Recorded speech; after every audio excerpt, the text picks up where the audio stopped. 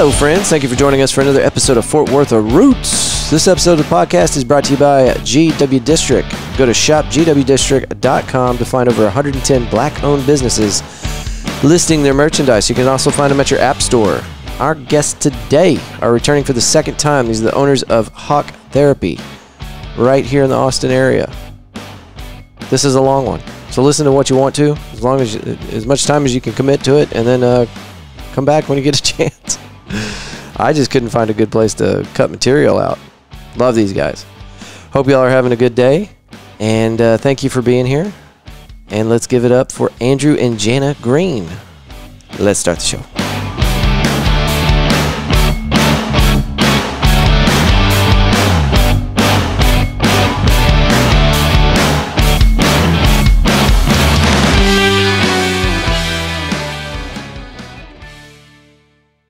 Like, hey, we could all do yoga. Like, come in your yoga shorts, Yeah, whatever. yeah, for sure. So where do you do you do it here in the living room? Yeah, yeah, yeah, yeah. I just moved the the coffee table a little bit, and me and Luigi ended up doing yoga. He came to visit, and all the girls were so in love with him. But um, it was really, really cool. And it, um, they so going back to what I was saying, uh, they had a practice during the uh, the yoga uh, practice, whatever it is. Um, but you control your breathing through holding certain nostrils closed. Huh. So like if you go like like hang loose, you know, you you hold on one side and you breathe through this nostril. And then once you breathe in, you hold that and then you breathe out through the other nostril. And then you start breathing in through this nostril and then you hold it and then you breathe out through that nostril. Apparently that's actually helpful for not just regulating breathing, but it helps with digestion. Really? Mm-hmm. You know, right off the cuff, I would be like, "That's ridiculous." But I've I've heard like professionals that, that that's their field is like understanding Mm-hmm. breathing and intentional breathing and all that. And it's wild the, It's really the cool. studies that they've actually done on that that Mm-hmm. show some measurable changes in people's health and performance. They they did a whole group of athletes Yeah. where I can't remember how they did this. Anyway, Yeah. a study where they they demonstrated with these athletes that they were something like 10% better at, at whatever Mm-hmm. they were doing. Their performance was 10% improved by just focusing on breathing for maybe Yeah. 15 minutes before an exercise or something like that. Absolutely. And the biggest takeaway that I got from that uh, uh, episode of a podcast that I listened to where they were talking to this expert uh, was that you need to be breathing through your nose. yeah. Well, specifically, yeah. Yeah. People that breathe through their mouth are like they're they're damaging themselves apparently. So In your uh, nasal cavity, you have basically a, a, a air filter it's a of whole sorts. thing, yeah. But there's there's they've done a lot of studies that find there's a really good Psychology Today article that's titled "Your Breath is Your Remote Control for Your Mind," Mm, Yeah. mm-hmm. and and what they found is breathing how you breathe is such a really sets the pace for how everything else in your body is functioning. Mm-hmm. and a lot of people don't realize this but you know if you're if you're anxious and you're breathing very deeply your body basically is sending the message to your brain hey i'm breathing slowly and deeply. There's nothing to worry about. And Yeah. your breath can override your brain. Uh, conversely a lot of people that we work with they'll say you know i'm anxious all the time and i'm always tired all the time and i don't know why. And a lot of times when we're kind of stressed and we're kind of you know future focused all the time a lot of people don't realize it but they spend the majority of their day not breathing or breathing very shallowly mm-hmm. Mm-hmm. and when you're not breathing or you're breathing very shallowly obviously your brain isn't getting a whole lot of oxygen yeah. Yeah. or less than it should. less yeah. than Absolutely. it should. And when your brain knows it's missing something that it needs, that creates anxiety. When you're not getting enough oxygen, that makes you tired. So so mm-hmm. it's Yeah. interesting just the very very very far-reaching deleterious effects of not having uh, well managed breathing patterns. Absolutely. Yeah. So there was somebody that I saw. So I I've done physical therapy a little bit. Um, Mm-hmm. and so uh, In any specific field or um, it, it was uh, a lot of muscle tension that I was going through for a little while, and so I was seeing somebody for a little bit. And I remember going into one of our sessions, and there were post-its all over the place with like little highlighter dots all over. And I was like, "What's that for?" And she's like, "Ah, it's just to remind me to breathe." And I was like, "Oh." And so she was telling me, she's like, yeah, like, I mean, and she's so knowledgeable about this, but like, she was telling me that like diaphragmatic breathing is so helpful because you think about the muscles that are tense throughout your day. Like when you're working out, like you hold your breath. When you're doing a push up, you're holding your breath. You're, you're doing, you're holding your breath in so many different activities that you don't even realize that you're doing it. It's kind of an Yeah. innate thing. So, um, she was telling me she was like yeah like uh, try putting post-its like in your area to where wherever you look if you see it that's your reminder to breathe Right. and i tried that for like a couple of weeks Mm-hmm. in my office all my clients asked and i was like hey do it too whatever um, which was really helpful but um, doing that, I was able to really notice how often I hold my breath, and Yeah. it's and it's very often, especially no matter like. I mean, it's it's especially in situations where like I have to move from one thing to the other to the other to Right. the other, which is often how like uh, you know our our society really is. It's like Mm-hmm. hurry up, go go go go go go go. Well, I'm sitting here like as we're talking about it, and I'm I'm focusing. Being on my aware, breathing, yeah. right? And but free, breathing from your belly, like from your belly, is like how is is that my belly? yeah, like the fact that if you're asking yourself that, then you're probably holding your breath a whole lot. Yeah. Think about it. Well, Yeah. I I did. I started practicing it after I heard that podcast. Like, Okay, just good. Just breathing through my nose, which I mm-hmm. figured out is not really a difficult thing for me because I think I do it anyway. I'm not a mouth breather, Sure. but You don't drag your knuckles either. they okay. So that was another interesting thing. There was a correlation between IQ and whether or not that person was a mouth breather. Oh, wait, And- really? Yeah, and then Oh. I, I think they also did like a control group where they take the same people and give them a test, Mm-hmm. and then give them the same test later or equivalent, Sure. and then tell them, hey, only breathe through your nose, and they did like ten percent better or something like that. Interesting. And I'm I'm probably way off here, but there was something like that where they they were able to make a measurable like correlation Uh-huh. between IQ and mouth breathing. That's very. I mean, they don't. They don't. I mean, mouth breathers isn't an insult for no surprised. reason. Yeah. right, right. That, I mean- that is a thing. But even then, like I wouldn't be surprised by that. Like our bodies have so many different interesting functions, and it's like, you know, uh, uh, from what I remember, even like so during a time I was really into like meditation with like a few of my friends, and I mean, really, really great people that I worked with uh, down South Padre Island, and um, w- uh, I got into just kind of just being aware of my body. And it's interesting, like doing meditation for like 10 to 15 minutes is like taking a nap for 30 minutes. Yeah. It's like it's like a power nap, a cat nap. So it's like to give your body the opportunity to just kind of disconnect from all of these different things that demand your attention Yeah. and just having that space just for yourself, not to move, not to do anything. yeah. I think it's an interesting exercise I think we talked a little bit about. I know we did. We talked about meditation last time, and then Yeah. immediately after that, I started like trying to set time aside in the mornings just to like sit there and Mm-hmm. just do that. Just, just chill. Just wait. Mm-hmm. Give myself time to wake up. Kind of think about the day. Mm-hmm. You know, nothing. I. It, I think the first couple of days, I was like, I'm gonna write notes down, and I did that. Mm-hmm. And then like by day three or whatever, it was like, I'm just. I don't need that. I don't need. I don't need to mm-hmm. document this. no, you just need to be, yeah. exist. Yeah. What we're what we're really finding is just the the, the value in really able really being able to do nothing. It's Something that that mm. we've th- since we last visited, there's just been a couple of things that we've uh, been exposed to that have kind of changed how we think about things. You know, mm-hmm. from a therapy from a clinical perspective, not the least of which being the idea of being a human being versus a human doing, and and we're, we're all we're all focused on what we're doing and what we're not doing, but very few of us are focused on what it's like to just be. Yeah. Right.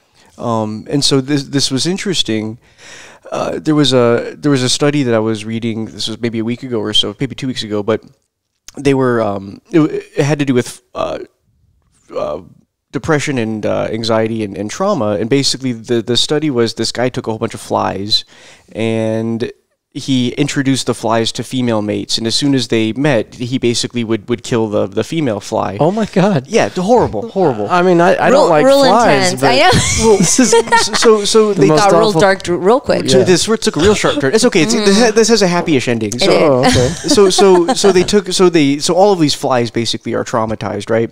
And so they took half of the flies and they just said, mm. "Hey, you know, go go you know they, they just put them back into their natural habitat and just said, just watch what happened and then the other half of the flies they put them in a room where uh, there was no light and there was no sound in other words a Pack of cigarettes in the middle or something. I don't I don't know if there were fly flies? I don't cigarettes or not I don't know if Fly tobacco. Fly size cigarettes. but they, they it was it Be was like a- itty bitty. it was effectively effectively a sensory deprivation chamber for flies Yes. so Yes. Uh-huh. so the, the the study only ran for two or 3 days, but the flies that you know experienced the trauma and then just were just tried to continue living life. Uh, Mm. Many of them weren't really flying; they weren't really interacting. Some of the flies just kind of died themselves, ostensibly from depression. Mm-hmm. And then the flies that were uh, in a silent, pitch black room for two or three days. When they came out, they were all returned to normal functioning. They were all flying, buzzing around. Some of the flies even tried mating with new female flies. And so the moral of the um, the study was that for some reason, exposure to light affects how we process things. Really, just exposure to information, light, sound, tactile stimulation. So, what we found is if you're awake and you eliminate all stimuli, for some reason, that allows your brain the ability to process all the stuff that is backlogged. Mm-hmm. Because as you and I are talking right now, as you're looking in this room right now, your brain is processing everything that's going on right now. This wall is white. Jana has dark hair. when, when, when your brain stops, when, when your brain has nothing to process in the now, it gives it a chance to process All the backlog. all the backlog Yeah. stuff. And for some reason, we just found that. I mean, meditation is great because you're not. Re- there's very little stimuli, but it's like, what happens if I take it a step further and I remove literally light? Mm-hmm. And for some reason, that that just made a very profound effect. And after just two or three days, you know, granted, this study was done on insects in Japan, but I have so many questions also, but Yeah. For another time. it's it, th- well, There's, there's just a lot. there's a lot. unpack There's there. a de- it. there's Yeah. a lot of depth there because I mean it, it, it then leans into like sensory deprivation and not just from a light sense, but Yeah. like like if you're in a space like of course like sensory deprivation chambers where you're just kind of floating, you are given this opportunity to just have clarity. you're not being disengaged. distracted by anything. Yeah. I've tried it once, and the guy, whenever I left, he was like, "How was it? What did you think?" I mean, I, I can't remember. I think I was in there for an hour, maybe. Mm-hmm. Float tank, yeah. and I was like, "I don't know. I didn't. I don't think it did anything for me." And he was like, "Oh well, you know, you gotta you gotta try it a few more times." And I'm like, you know, Eh.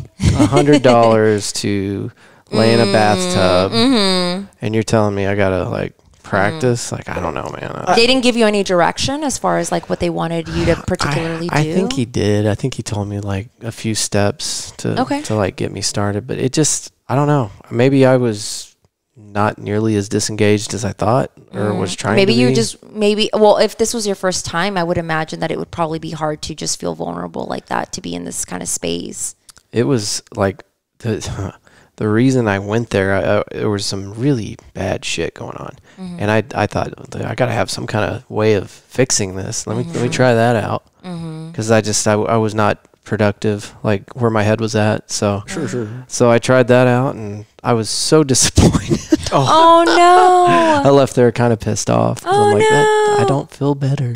But maybe it's just uh, that there was so much going on that it didn't matter what I did. You know, Mm-hmm. one trip to the deprivation tank wasn't going to do anything. You know, Sure. Oh, well, well, So- and only doing it. I mean, I've done se- sensory dep- uh, sensory deprivation tanks before, and, I, and yeah, they are they are an hour. And I remember doing them before I was a therapist and had no idea what I was doing. I was just rather bored. yeah, yeah, Um, and just wondering how much time was passing. yeah. Thinking Um, about the clock the whole time. maybe maybe Yeah. having like a sort of intention like I, so where i used to work um, i used to work in south padre Oh. and one of my like very very very amazing girlfriends um, who ran the the neuroplasticity center there. Her name's laura. Um, she had a sensory deprivation chamber there. And it was a modified version of course because i wasn't in a tub in my bikini or anything like that. Like i was i was like it, i was it was like a bed. It was like a kind of like a saltwater bed. It was very very interesting. But it really did shut out all light. And so you just had like nothing distracting you but yourself. And so you're just kind of sitting there with yourself. And, you know, she guided me in the way that of like, you know what, try to have some sort of intention. Like if you have a question, if there's something on your mind, like think about it, but allow yourself to just be open to whatever comes forth. I'm like, Yeah. okay. And so I did that and I like it was it was for about an hour, I remember. Um, but I, I didn't feel like it was an hour. It felt like it was like maybe 20 minutes. Yeah. And I just felt like I had so much clarity about so many things that were kind of like plaguing me with anxiety because I had struggled with anxiety pretty heavily during that time. Yeah. Um, but I got out of there and I was like, huh. I was like, okay, interesting. So like I just felt a little more aware and a little less distracted by everything around me. And so it helped me feel capable to make certain decisions that maybe I was maybe too afraid or too like uncomfortable to make or what have you. But like during that time, it's like I it was really cool because like I went into it with the intention of I don't have to meet anybody's needs right now. Yeah. I don't have any responsibilities to anybody else. I don't have to be anywhere at a certain time. Like all I it, all it is is just me. Yeah. That's it. Me and my thoughts and my ability to just give my body what it needs in that moment. And I just kind of stood there and it felt like it felt floaty kind of. like it's so weird. It's it's it was really really cool. It was a beautiful experience, but I do remember talking about feeling floaty. I do remember a few times whenever I was able to like really mm-hmm. let go and, and stop worrying about the clock, I lost perception of like up and down. At- Oh, at, some point. Your in, your internal gyroscope. yeah, it yeah. was completely Is that what it's called? Yeah, actually, humans have really bad internal gyroscopes. That's why Mm. uh, a lot of plane crashes and fog happen because people's planes go upside down and, and they don't they don't notice it. Spatial disorientation or something like that. That that sounds fancy I, enough to I me. I think that's it. I, I, I Mm-hmm. went through a, a school and wasted a bunch of money and, and walked away with nothing. And I think that's one of the things we talked about was spatial disorientation. Well, so you didn't walk away with nothing. You walked away with a bit of knowledge Yeah, about I spatial got, a, disorientation. I got a term that came in handy here. Yeah. I was impressed. I was impressed. well, and I don't remember if that's right, but yeah. Yeah. it's you know what what happens is you got somebody that's uh, flying an airplane and they're IFR, uh, just operating completely off the gauges. They look out their window and it's dark or cloudy or whatever, and then they just before you know it, start slipping, and they're not watching their attitude or whatever, and before you know it, it they get into an un- uncontrollable spin, and it's actually very easy to correct it, but you gotta you gotta have it practiced Sure. because it's one of those things that if it's not like uh, instinctive, Mhm. you might not do it because you you hit that panic mode. Oh, now, right, for, now for a panic or for a pilot that has has trained on how to correct that with their particular aircraft, they'll just go, okay, this is what's happening. Let me just put left pedal and right yaw or whatever. Sure. I don't know if that's right, but and they just do that and do whatever. And and once the airplane returns to a stable flight and they're out of that spin, then they're good. But if they don't do it immediately and that spin goes too hard, I mean, if they're only five thousand Yeah. feet up, they've Mm. got seconds to fix that. Sure. I imagine a lot of it is muscle memory. Yeah. yeah, it's gotta be. We we know some, or rather, my uh, my my aunt, her her her significant other flies a lot. He's the nicest guy in the world, Mm-hmm. and and he's very very very adamant about unless it is a perfectly crystal clear Oh, yeah. blue sky day. And Why there's risk no, it? Yeah. Yeah. And, and he's a seasoned You should enjoy it, you Yeah. know? So you know, I, I, I- but I think it really goes to show that that, well, back to the uh, uh, issue of uh, our the human internal gyroscope is not very good. Yeah, Um, for sure. Yeah, and at, that's one of the worst feelings too. Is whenever that thing gets thrown off. having never been in a small plane that's been thrown off, Oh well, no, yeah, I've never experienced that either. But Yeah. um, yeah, hopefully, right? Uh, Yeah. Knock on wood. I've uh, With both hands. I I only fly with one of my friends, and he is he's he's just got to be one of the best private pilots out there because he is so cool. thorough, and he oh, just sure. he he really takes time to to you know first of all fill out a good flight plan and Mm. make sure that he's aware of the weather conditions and you know he looks at okay if i'm going to go this direction i need a few outs which airports are along the way you know, where, where can i dive out if Oh, the nice. if the ceiling drops and i don't Very have clearance thorough. anymore yeah. Yeah. yeah he takes great care of his airplane Mhm. and i know this so whenever we go out and fly i have zero concerns whatsoever Mm. and it helps to know that i can land the plane too Oh, yeah. did, did, That's you ever- nice. Have you gotten any training in? in Yeah, man, I was so close. Um, I I got soloed. I I did all the stuff. And the only thing I needed uh, after that was just a check ride with an FAA examiner, and then they have an oral examination. I'd already taken the written and passed it with like an 88, Sure. which is perfect because they tell you you don't want to do too good, or the examiner will see your score and he'll, he'll really try to Oh no! put put your feet Challenge to the you. coals. oh no. So I was I was pretty proud of that score, and um, I was so damn close. But I just I ran out of time and I ran out of money like Oh. right there at the Uh. end. And it's one of those things, you know. uh, You've heard the expression. It's like riding a bicycle. You never forget. It is not like that. No. You Oh. have to. It it very much muscle memory, and you have to be practiced. You can learn everything there is to learn, and then take a month off, and you're going to be rusty Sure, sure. you know and so it was it was one of those deals where i'm like well i'm gonna have to come back to this but now it's been so long Mm. it's like i'm gonna have to start all over I mean, you I'm. I'm sure. wh- wh- While I'm sure some things are more like riding a bike than others, if if, if you if if you learn something once upon a time, I mean, the, the neural pathways are yeah still there. Right. yeah there's still some of that but Yeah. you know i i'd gotten to the point where you know my radio calls were good that's another thing that really trips people out whenever they start that is just talking on the radio mm. Sure. which i don't think i'll have near as much trouble now a little older a little more experienced hearing my voice so Sure, sure. but you know, whenever you get when you key that mic and you know you're you're broadcasting to all mm. these you know experienced pilots to ground to air traffic. Yeah, it's a lot Everybody can hear you. You you just took over the entire network oh. whenever you keyed your mic. So you better be able Damn. to fire off what you meant to say, and you better say it intelligently, clear, and quickly. I can't imagine that that while you're up in the sky, somebody's going to berate you for like, oh, you used the yeah, they will. Really? Oh my gosh. No, That's a a lot of pressure. there, there's there's no time for that really for them to berate you. Mm. But I mean, if you had a buddy pilot that was out there or on the network, now, you, you know those guys on the ground probably. Mm-hmm. That's probably an an airport that you use a lot. Sure. So you don't want to embarrass yourself in front of the people that because you know ne- ne- next thing you know they're gonna see oh we got this guy coming in. Get ready for a good radio call. you know? I didn't realize there was this level of like etiquette and Oh, it's very know, formal. Yeah, it has to be. There, everything has, uh, um, you know, there's there's regulation and order to everything. I guess when it comes to operating a flying machine, Yeah. you really gotta. Yeah. There's really not a lot of room for low- eh, do what low- you low want. margin for Yeah, error. right. Oh my Yeah. gosh. Yeah, I, I like I find it, it sometimes I'm I'm kind of taken aback a little bit. Like I know it's so normalized because we're all driving cars, but Mm-hmm.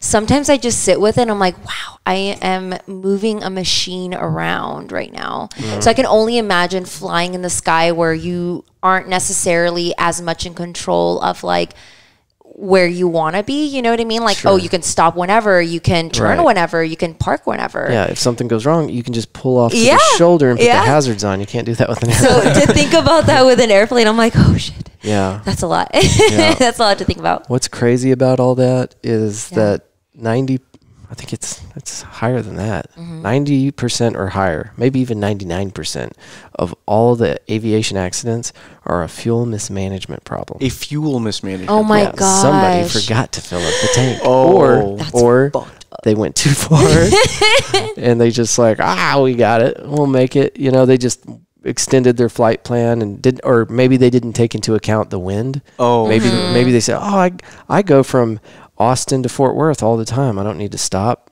But today there's a you know 70 mile an hour uh, headwind pushing on them, Sure. and so they burn up twice as much fuel. Next thing you know, they're making a mayday call, ending up in a field off the side of I-35. yeah, let, let, let me ask you. You obviously have far more knowledge about flying than, than we do. Ooh, easy. I don't know. and and and well, that's which isn't within of itself isn't necessarily saying a whole whole lot. But, but I'm I'm curious if you have any opinions about people who fly through the Bermuda Triangle.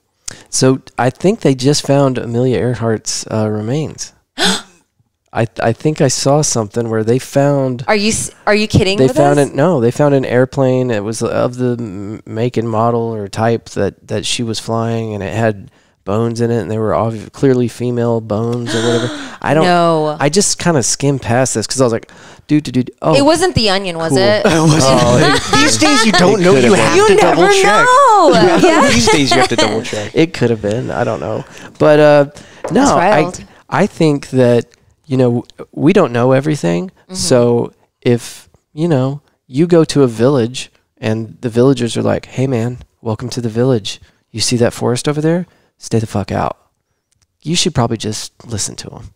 You know, so if there's like some folklore and hey, the Bermuda Triangle and stuff, and you don't have a clear reason to go, maybe stay away. Yeah. I, I just wish I knew Word to what the wise. Yeah, I just wish I knew what the um like what what for uh, what that was. which part? the Ber- just the whole Bermuda Oh, Triangle thing. isn't it like going itself. into another dimension or something? Well, Well, there's a lot of different. There's a lot of different. screwy things. Yeah. Um, but even the Amelia, I didn't hear about. Now, granted, we've been Could be the onion. Eh, it could be the onion. ever I've ever That onion. ever since okay so so uh, my my aunt and her significant other the one that flies the plane Uh-huh. they're they're they are probably the most peaceful and happy people that I think we know and and, and I They're think really I think it is for two reasons one my aunt never had kids but but the other one and the other one is um they don't watch the news oh God, that's got to be. That's it, hands down. well, well, it's it's it's very very interesting because I mean I especially when I was in undergrad and grad school I was very deeply deeply deeply politically involved in, in the political groups at whatever school I was going to. So I I I I, I, I um I I mean I've met a few po- I've met a few politicians before. So I mean I've I've I've, I've been in the game before, and what I find is. I, I tell my patients, you know, you have no idea what the effect is just watching somebody scream and tell you how dangerous it is to be alive. And I say this, but I don't. I never actually gave myself a chance to experience well, just how much of an impact is this. So after the election, I just kind of quit watching the news altogether. Yeah. And and mind you, I mean, I, I would get CNN and Fox News alerts because I wanted to make sure I understood what was going Right, on on both sides. Um, but I can tell you, just for really two months of not consuming any news, just things I didn't expect. You've just been sleeping better, remember things easier, just Yeah. not in a bad mood as all, really at all. Yeah. Um, Just a lot of things are different, and it's like there's no way this is just because I'm stopped watching the news. So I gave myself like a week to just allow myself to consume n- news as much as I had. And you got uh, I've been- diabetes. I've been super irritable this week, not sleeping as well. I'm like, bullshit, it can't possibly have that Oh. big of an effect. She's That like, oh, that's what's been I was like, on. that makes sense now. Shoot. But it's it's it's it's it, it it really is um it, it really is a people don't realize how just being exposed to the news too much of it how it can really um just screw up your your uh, you know your mood management Absolutely. No, and I mean, eh, and from from the standpoint where I'm at, like, I mean, I I really do want to keep in and keep tabs on like what's going on in our world and all that Yeah. good stuff, and um, but I practice very very similar things to where I've if I know it's going to lead me somewhere to feel anxious, I probably won't do it just to kind of like what is it like a reserve my energy i guess or like just kind of like uh, conserve it to be able to utilize whatever energy i have in my body to be able to help other people and and, and do the right things and whatever um, but even when what happened with the capitol happened like we watched a, a like a doc like a very very short documentary kind of Yeah. like um, giving the highlights of what happened and just to kind of keep people informed. Um, and watching that was so hard. Like, Yeah. I have a horrible childhood um, anxiety habit where I bite my lip a lot and I start to bite the skin off and I just start to kind of like, and it, it starts to hurt after a while. And I just remember after that, I want to say it was 45 minute video uh, that I was watching and just keep, kind of keeping alert on what the hell's going on. I like bit through all of the bottom of my mouth and Oh my it just it hurt like it was actually starting to bleed a little bit but I was like okay I kind of knew this was coming but uh, Wow. just Yeah. even even watching it just like the the the tone of the voices that are there that are explaining the situation the people that are being interviewed the the, the actual footage that you're watching it's Yeah. like it really does create such a high degree of distraction from like yourself that you start to kind of like engage in weird behaviors that Yeah. like maybe you used to do when you were younger or even now as an adult like you know it's it's it's really sad it really is and it's very tragic to watch but I mean, even just seeing that, I was like, okay, I have to be very mindful of how how much I allow myself to actually view news. Yeah. I would rather just like read a couple of articles and just really kind of get a better feel for what's going on versus seeing something like CNN because the if you if you if you notice like the voices the everything it's just like so heightened that like Mm-hmm. immediately as you start hearing them like you'll you'll feel it in your body like just the tension being carried. I'm kind of getting stressed out now. i'm so sorry no, no, but it does. It i needed to describe it to you Yeah. i'm just like holy shit like words matter, right? I mean, there there's something about And the that. I w- tone. yeah, and I was It's I so saw something the other day. It was a I'm gonna get I'm totally gonna screw this up. It was either a Chinese or a Japanese uh, Mm. Biochemist, biologist, something like that. Anyway, he did an experiment on water molecules, and he exposed uh, one group of uh, water molecules to the word love or something, and then he took another set of molecules and he exposed them to hate, and then he took another one. There was three sets. I can't remember exactly what they were, but it physically changed the water molecules, and you're like, mm, that's bullshit. There's no way. It's true, apparently. So and and there's other examples of that. They've done it with plants. They've done it with you know mm-hmm. ju- just different stuff. And I mean, I I think that just an observation that you can make in your own life is is kind of noticing like who are the happy people? Is it the guy that runs around flipping people off in traffic and mm. Talks shit to his wife and yells at the dog and tells the kids they don't amount any, in- to anything? Or is, is it is it the person that uh, is is always grateful and always saying you know things that uh, that that are meant to encourage and uplift? That's probably going to be the happier person. absolutely have you uh, have you seen happy it's on No, I've heard about it. Amazon We, we might have even talked about it, but I, I yeah, want yeah, yeah. it. Oh my god, I, think I might have mentioned it the last time. So Yeah. like as you're bringing up happiness, like they really really dive into like not just in America, but like in different countries, different areas. Like Yeah. how do people perceive happiness? Mm-hmm. And you know, unfortunately because of our society and just how um maybe how we've been kind of guided to I, I idealize or romanticize the idea of having a lot of money and that being um, the source of happiness and whatever the hell else. Um, it's actually like it's not extrinsic value that really Right. holds you to a, a, such a more grounded level of being self. Like it's intrinsic. It's like what are you doing internally? Like who are the people that you're surrounding yourself with? Like what are you doing in your spare time? Like how are you showing yourself love? How are you showing up for yourself? Period. Yeah. You know, like, are you giving yourself time to just lay on the floor in yoga and just like enjoying the ability to just breathe? Yeah. That was the hardest thing out of that whole yoga practice for me. I, and I, the fact that that was the hardest part was like, Very telling, and I was like, I it, I was like cursing. I think it says something that doing nothing takes more energy than doing Yes. It's very yes. true. Like I, my muscles tensed up as she, uh, as she, like, so the person that I was doing yoga with, she, she prefaced that we were going to be sitting or laying there for a significant period of time. She's like, just give yourself time. And I was mm. like, wait, what do you mean? I was like, I have to, I have to shower, I have to get ready, I have to go do this. And so I'm like, okay, fine. I'm like, I'm just gonna do it. I'm just gonna do it. And so I tried to just really lean into what she was asking. Yeah. And I found that within maybe like because we did this for about three minutes. So like within a minute and a half, that's when I actually started to relax. The fact that it took a minute and a half to actually get there was actually really obnoxious because all I wanted to do was open my eyes, sit up, mm. look around, like look at them. Like it- Yeah. all I wanted to do was just make sure I was thinking Yeah. more than just being. it's so hard to It is. to pull your brain out It's of terri- gear. Yeah, it's I- it's awful. Yeah. I, I almost feel like I can't ever do it. And and so when I do try to do that, when I try to just sit there and and clear my head, and to me that's just the wildest idea Mm-hmm. because I I I think it's everybody, but I've got probably Mm-hmm. 50 different things running in the background all the time. And to shut that off just seems impossible. Mm-hmm. I'm able to do it for about 5 seconds at a time. Like if I if I if I spend 15 minutes sitting there really trying to blank everything out, I can grasp that, but just for a moment. And then I have to try again. And so it's like five seconds here, three seconds there. Yeah. a second, you know.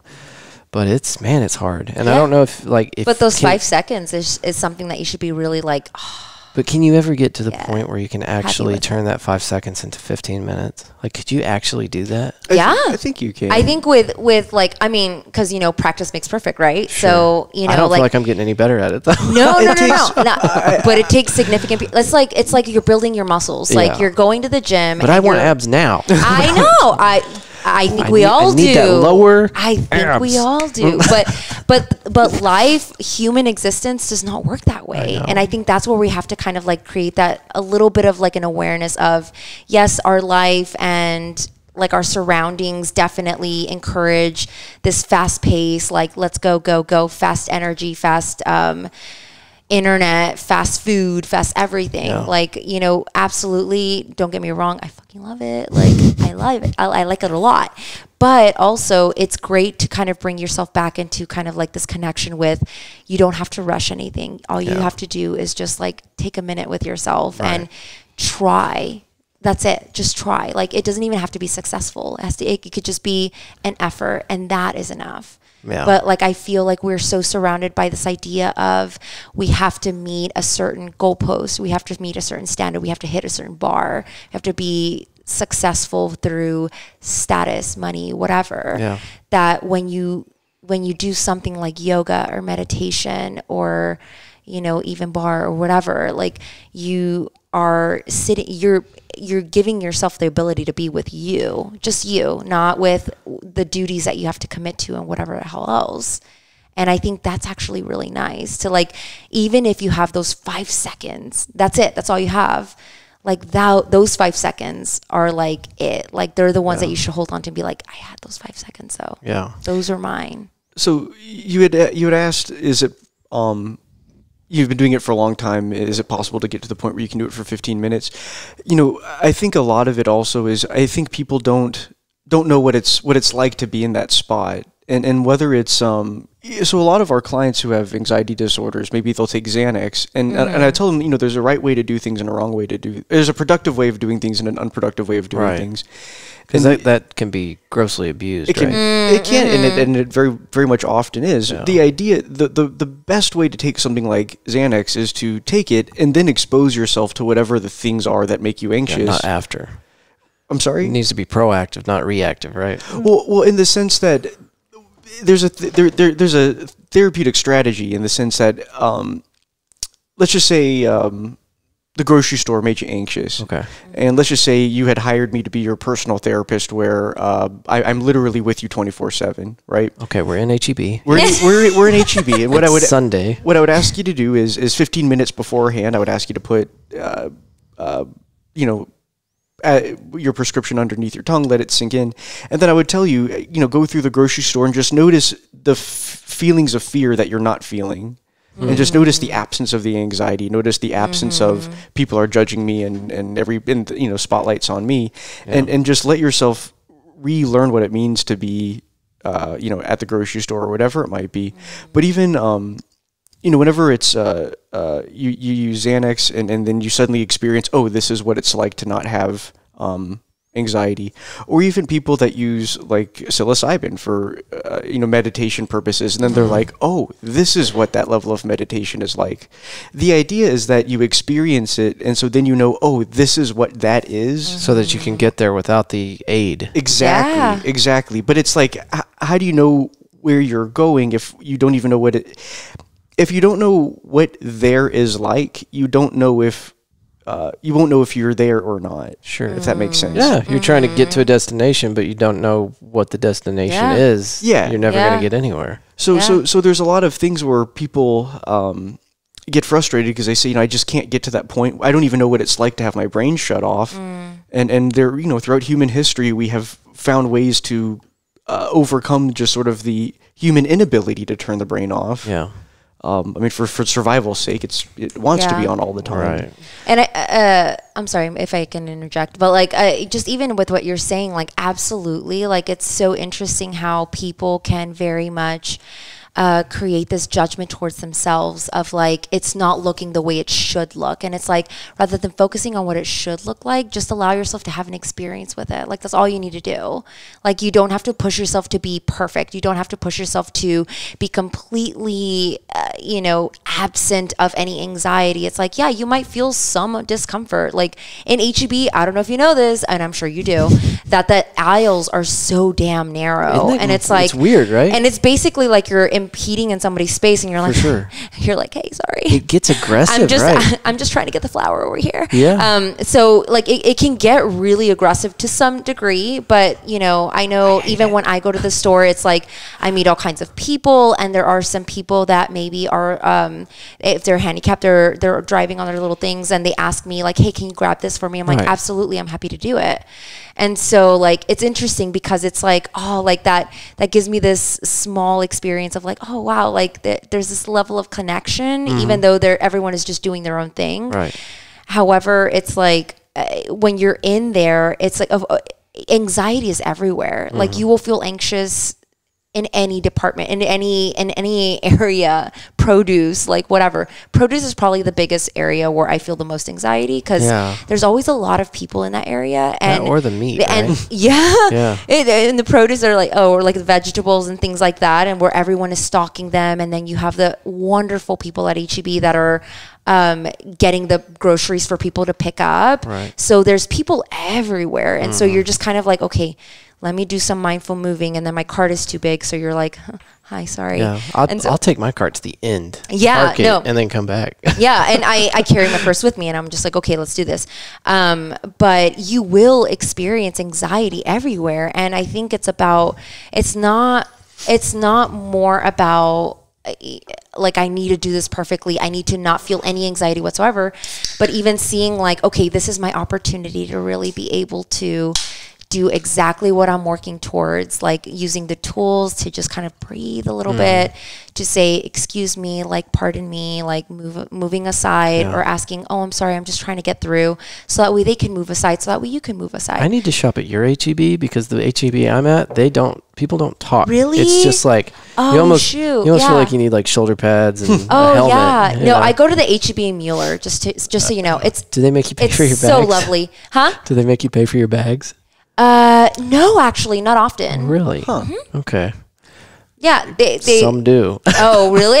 I thought all There's a of whole HEBs story did. there. Yeah, like I mean, they normally do, but like I usually ask for like two, and if they're if I usually need like maybe one or two more, they won't charge me for it. They're super nice about it. Like and but people there in that area are really f- friendly in general, so I really Yeah. like going there. So that way, if I need to move or if I need to like request for somebody to move for me, like.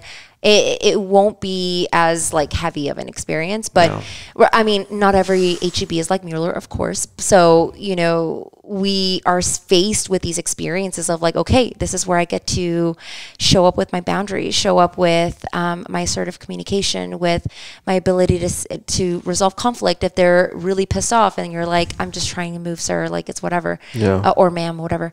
um, but it, we're constantly faced with opportunities to um, really practice what we learn in our everyday, whether it's from our therapist, whether it's from our psychiatrist, whether it's from things that we're reading to improve ourselves. Um, but as far as like with a with a grocery store like yeah like we're we're gonna face anxiety no matter what it's like what do you what are you gonna do with that anxiety that's gonna really make you feel successful or help you feel successful Yeah. So, um, Well, I I appreciate that. Um, Yeah. I've I've been trying since I moved to Austin to t- try and kind of rewrite the way I'm living my life Mm-hmm. so that I can get to a better place where there's less stress and less Mm-hmm. uh, just just be able to enjoy life Mm. rather than work my ass to death until you know till I'm 65 or 70. You know. Sure. Um, and I, w- one of the things that I kind of concluded is that I need to, in order to get to a place where I don't feel like I have to work myself to death, yeah. where I'm I'm happier as a person. Let's get rid of some monthly bills. so I don't know if you noticed, I didn't drive here. Um, I almost took an Uber, but a friend was in town and Oh. just dropped me off. Oh, that's so lovely. but yeah. I got rid of my truck. I live right down the street from work, and there Oh, was this Badass, there was this little motorcycle sitting in the shop, and it was just dr- covered in dust. Battery You got a was motorcycle? dead. Kinda. I mean, That's so cool. I do, but I mean, it's just for getting back and forth to work. So anything anything else is you know catch a ride, Uber, Yeah. or whatever. But um, that that's been a great thing. So I got rid of the truck. I had a trailer that I was still paying on from my previous company, and it's like the one thing that I've needed to get rid of. It's mm-hmm. gone now, so I don't have that payment. Sure. And I'm That's just I'm just working my way down the list. Yeah. And the next thing that uh, we kind of talked about this earlier, the price in this area for housing is insane. sure. so I'm like, what else could I do? Well, I'm paying fourteen hundred dollars a month for a one mm, bedroom. Mm-hmm. That's insane. Yeah, it's a lot. Why don't I try to find like some? I know there's got to be some cool people out there that have an extra room, Absolutely. and I'll just rent a rent a room from them. And Sure. if it doesn't work out, I'll find someone else. You know, it's no big deal.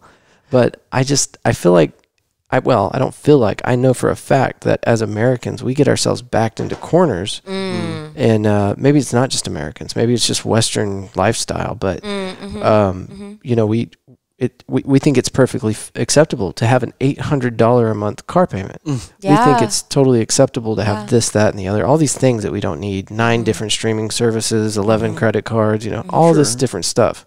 Yeah. And I don't think in like the 1980s there was such a huge amount of personal debt. But I think like right now the average personal debt is somewhere like thirty-four thousand dollars Sounds about on right. on credit yeah. cards, not mortgages. Yeah, not, yeah. not like Sure. that. Yeah. I've I've I've heard the third or the number I've heard is thirty five thousand. Yeah. Um, but that, that that doesn't. Mm-hmm. s- I mean, I've heard the same thing. Yeah. Sure. I don't think it used to be like that, but it's it's No. it's socially normative now for Right. us to be like, Absolutely. Got to have a car. It's got to be a reliable vehicle. So mm, I'm going to be paying, you know, on the low end. My my truck payment was three hundred and seventy something dollars a month, Yeah. which to me that's a lot. yeah. It's it one of the most expensive vehicle payments I've ever had. Sure. But then I've got a guy that I know that drives a big three. 3500 uh, Dodge Dually Mm-hmm. and he's paying almost $900 a month for that. Yeah. What are you doing? It's Why? It's insane. It's How how could you even think that that's okay? Yeah. Well, it's it's you'd kind of said it best It a second sets- ago. It's it- become normalized. yeah. yeah, it's it sets the socially narrative. yeah. It It's- sets the narrative for people because honestly, like if you think about it in high school, what do we have like home ec or Yeah. um sex sex ed or whatever the fuck. Frivolous, Sex frivolous yeah, bullshit. yeah, yeah, yeah, And and don't get me wrong, like I I totally dig all those classes, and and there's definitely a point to all of them. Yeah. But you know, I I know me and Andrew have talked about this before, where it's like I don't understand why in high school they don't teach financing 101 so oh many things, yeah. budgeting 101 kind of things you know what i mean like stuff that we're definitely going to need to know in the future There's because- classes these kids don't need, and there's also a shit ton of information. Like, w- why don't give them a, a little bit of a business class? Why, why are we just teaching our children how Mm-hmm. To how to be good workers in a factory or whatever? Absolutely. Or- I mean, times have pushing them towards changed. college. Times have changed, and Yeah. like the focus has become so different. Where it's absolutely like you have all of these social media. Um, avenues Mm-hmm. where people express their opinions and i mean that's a really wonderful thing and at the same time it's like this gives people the open door to push for like oh you want this fancy thing you want this expensive thing. Like you th- you see the commercials and it's like ah if you drink a corona you're gonna have lots of friends or you're gonna be hanging out at the beach. It's like i want that. You know what i mean? It's like it, it it's it's all it's all a tactic. You know what i mean? And so this is why we need yoga, taking time for ourselves, meditation, like all of these things, eh, mental health, a therapist to actually normalize the experience of what you're having and say, no, like you're not wrong. Like it's just that society has an image in in mind that can never be met by anybody. And so this is where we learn to adjust and you know pursue our own happiness, happiness. Yeah. So th- there's this great. Within us. There's this great. Um, I don't want to call it a paradox. I'm not sure what word to use for it, but but Mm. we're we're because we're a social species. We're we're designed to try to fit into what's going on in the Mm-hmm. mainstream. There's also the idea that I think it was Nietzsche that said being well adjusted to a sick society doesn't mean you're well adjusted. That's that's pretty important. Yeah. Mm-hmm. Extremely important, and I have to. I should tattoo that on myself because I think I might. That all the time. I need a tattoo. That might be it. yeah, right. have- on your forehead to just remind you every single day. But I like- want to get a job. I, no face tats and, until I'm you like can just 65. put makeup on it. It's all good. but when, when, when you have two uh, prerogatives that are in conflict of one another, it creates something in your brain called a double bind. Okay. A double bind is when you're trying to uh, do two. When you're trying to have two truths exist at the same time that can't. The most common example is um, you're born inherently knowing love your caregiver and run from people that hurt you. Well, how do you negotiate it when your caregiver is the one hurting you? Yeah. It creates a double bind. Okay. F- formerly, it, this isn't true. We, we realize this isn't true, but we formerly thought that double binds is actually what caused schizophrenia. Huh. So when you live in this world where it's like I need to get along with society, but I also need to uh, practice, you know, ha- healthy habits, uh, self-sustaining habits. Mm-hmm. Um, eh, it- when when those two are in conflict, when you can't be doing what society is doing and be living a healthy life, it, it creates this huge, you know, internal conflict because it's like, what do I do? Do I do my own thing, meaning I'm leaning away from society? and I'm kind of doing this kind of unprescribed thing that no one, you know, there's really no security because there's not a lot of people doing it with me. Or do I jump in bed with everybody else? I feel safe because everybody else is doing it too. Yeah. But it's also, you know, it's, again, it's the whole being well adjusted to a sick Yeah. society doesn't mean you're well adjusted. Yeah, that, and it, it's really wild. Not, I'm not going to cite any personal or any uh, specific uh, incidents because I don't want to get political. But Sure. it No, you're is fine. it is weird to watch, you know, a large populace get behind one idea that is so blatantly wrong. Mm. You see it and you're just like, what the fuck are they talking about? How does anybody believe this? also i mean just even looking at and i you know without going too hard into it Yeah. like you think about it and it's like what's going on for the people that are following it you know like what Yeah. what's going on in their lives For like how have how, how has their sorry how has their development you know impacted where What- they're what at in that moment that? like Yeah. what what makes that answer the right answer because Yeah. truly like if if you were to think about like carl jung it's like okay like our truth is our truth and, and that's true Yeah. and it's like it's not to say that your truth isn't true or my truth isn't true it's just that our personal truths are just what they are Yeah. And we can't judge them we can't say no you're wrong or whatever it's it just is Yeah. Mm-hmm. However, you know, when you think about these experiences that are happening right now, it's like, I wonder beneath that, like beneath those actions, beneath the responses, beneath the, you know, what we actively see outwardly, extrinsically, mm-hmm. it's like, what's going on internally that this is, this is it. You know what I mean? Like, and this is where we kind of get into how have people grown up? What are the values of other people? What have they learned as far as their own Yeah. values? Like, not you know don't get me wrong like parents are really wonderful people and like i think they do the best that they can with what they know Right. however sometimes it's like generationally we get kind of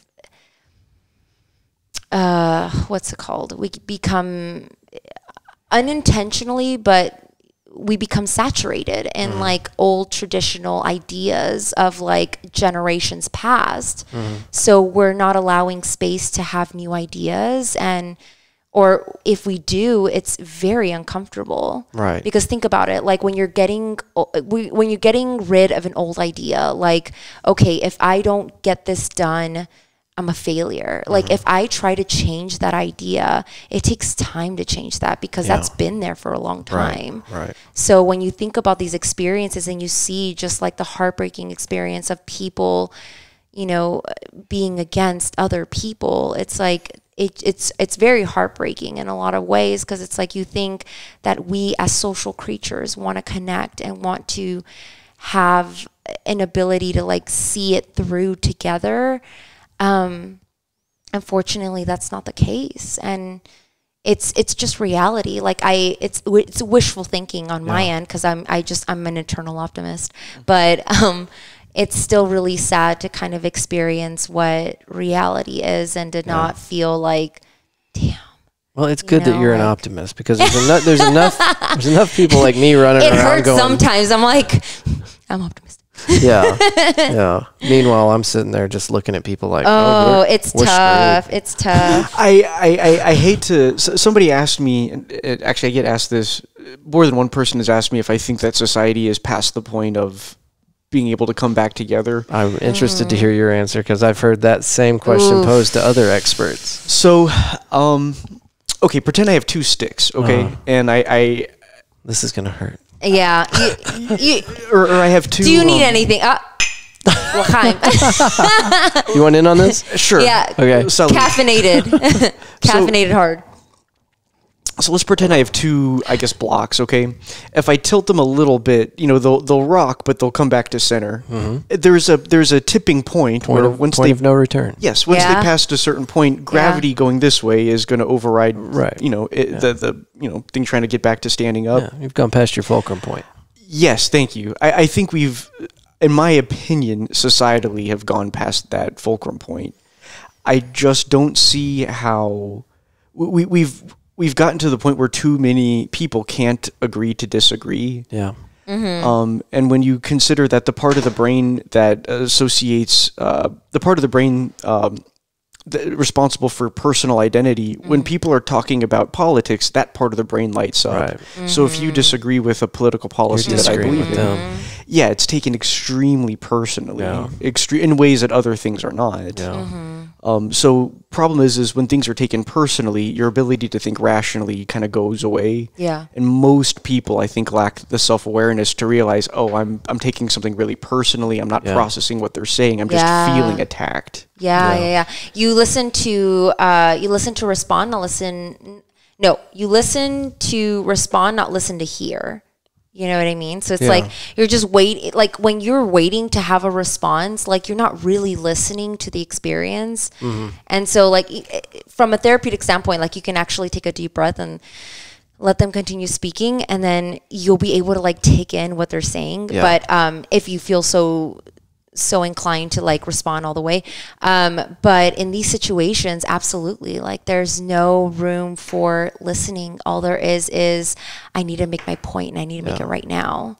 I actively work on that because I think that that Mm-hmm. is just I think that's an inert or that Innate. innate Yeah, thing absolutely. in humans that Absolutely. we're it's it's like we're engaged in kind of a, a Mm-hmm. battle, you know, and we're trying to get our point across. Ooh. Um, Yep. But you, you you get a lot more value out of a conversation if you do actively try to hear what they're saying. Yeah. And so Yeah.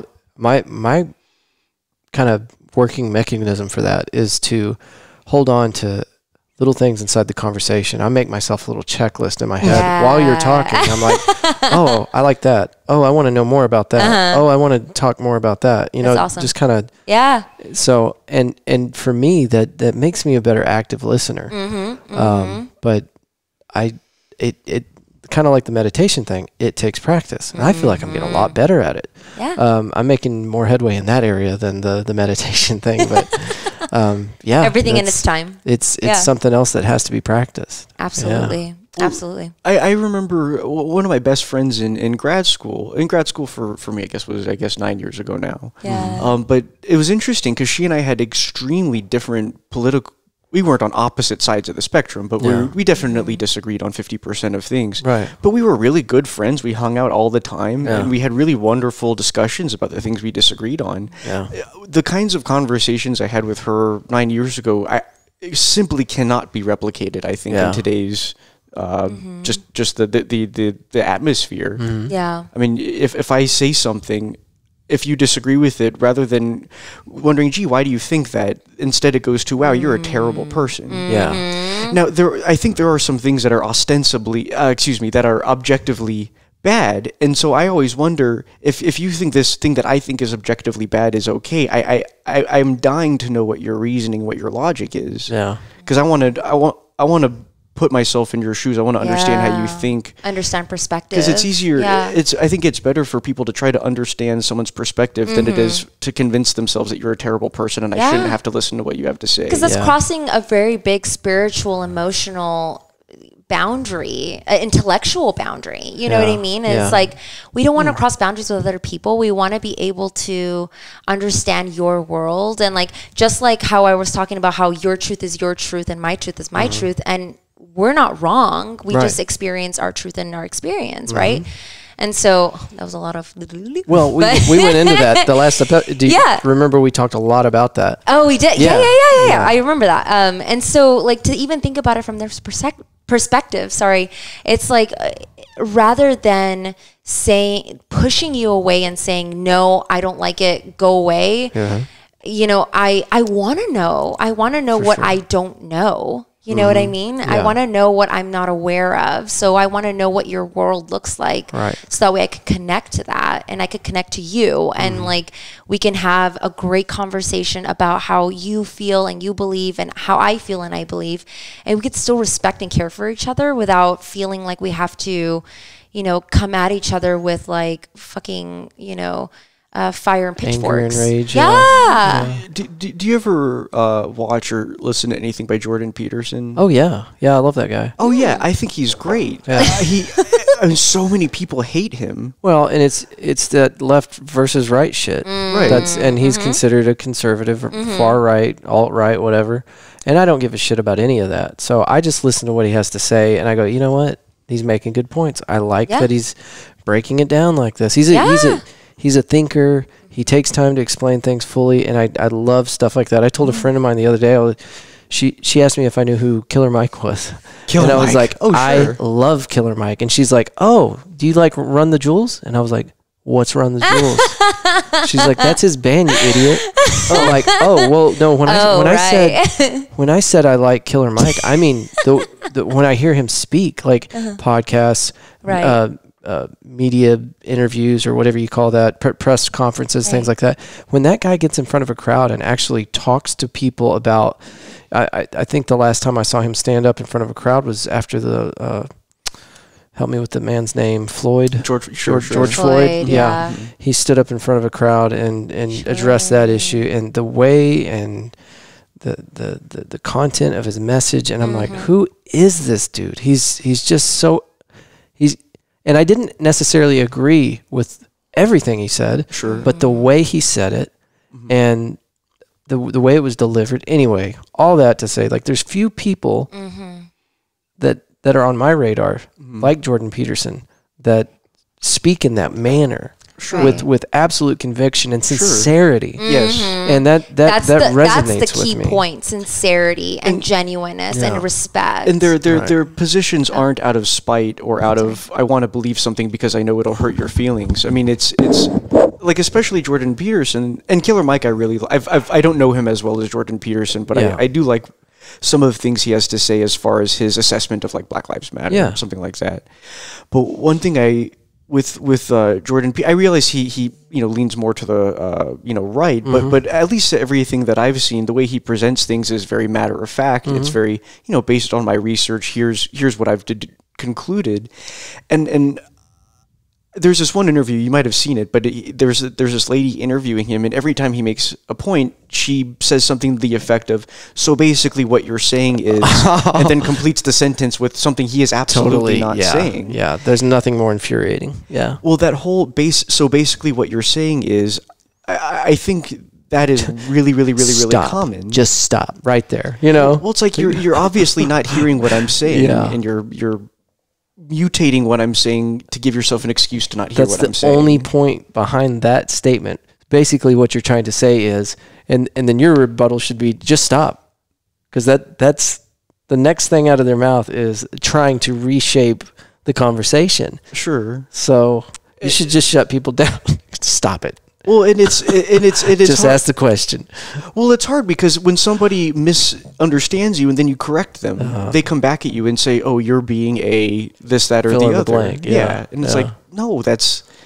There was somebody. There was a um.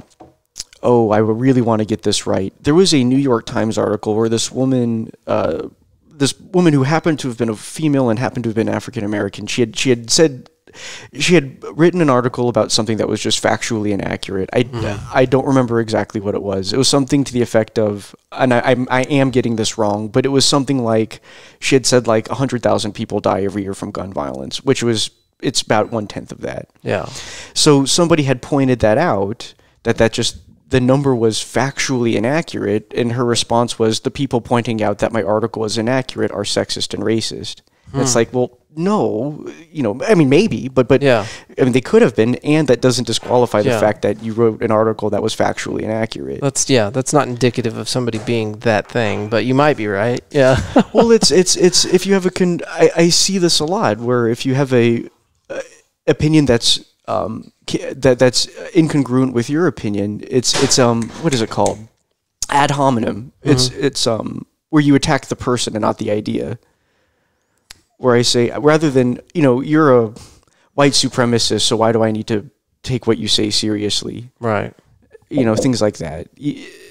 So, um, but but I think it says something about the overall mental health of society in general to have an emotional in uh, to be emotionally incapable of, of, of hearing opinions that don't um you know if I said I think all kids belong in cages yeah that that I can see how that could be a very triggering sentiment if I said you know I I don't think all college should be completely free and, and here are my reasons Yeah.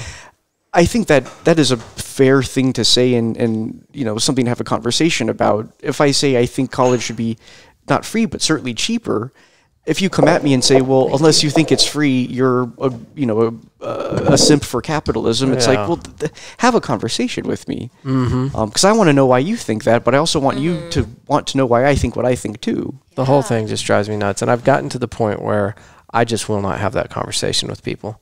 Um, I've mm. I've tried to speak intelligently and with gratitude and love with people Sure. to like, hey, you know, what about this? You know, let's talk about it. You you say the issue is this. Can we can we pull that apart and really examine why that is what it is?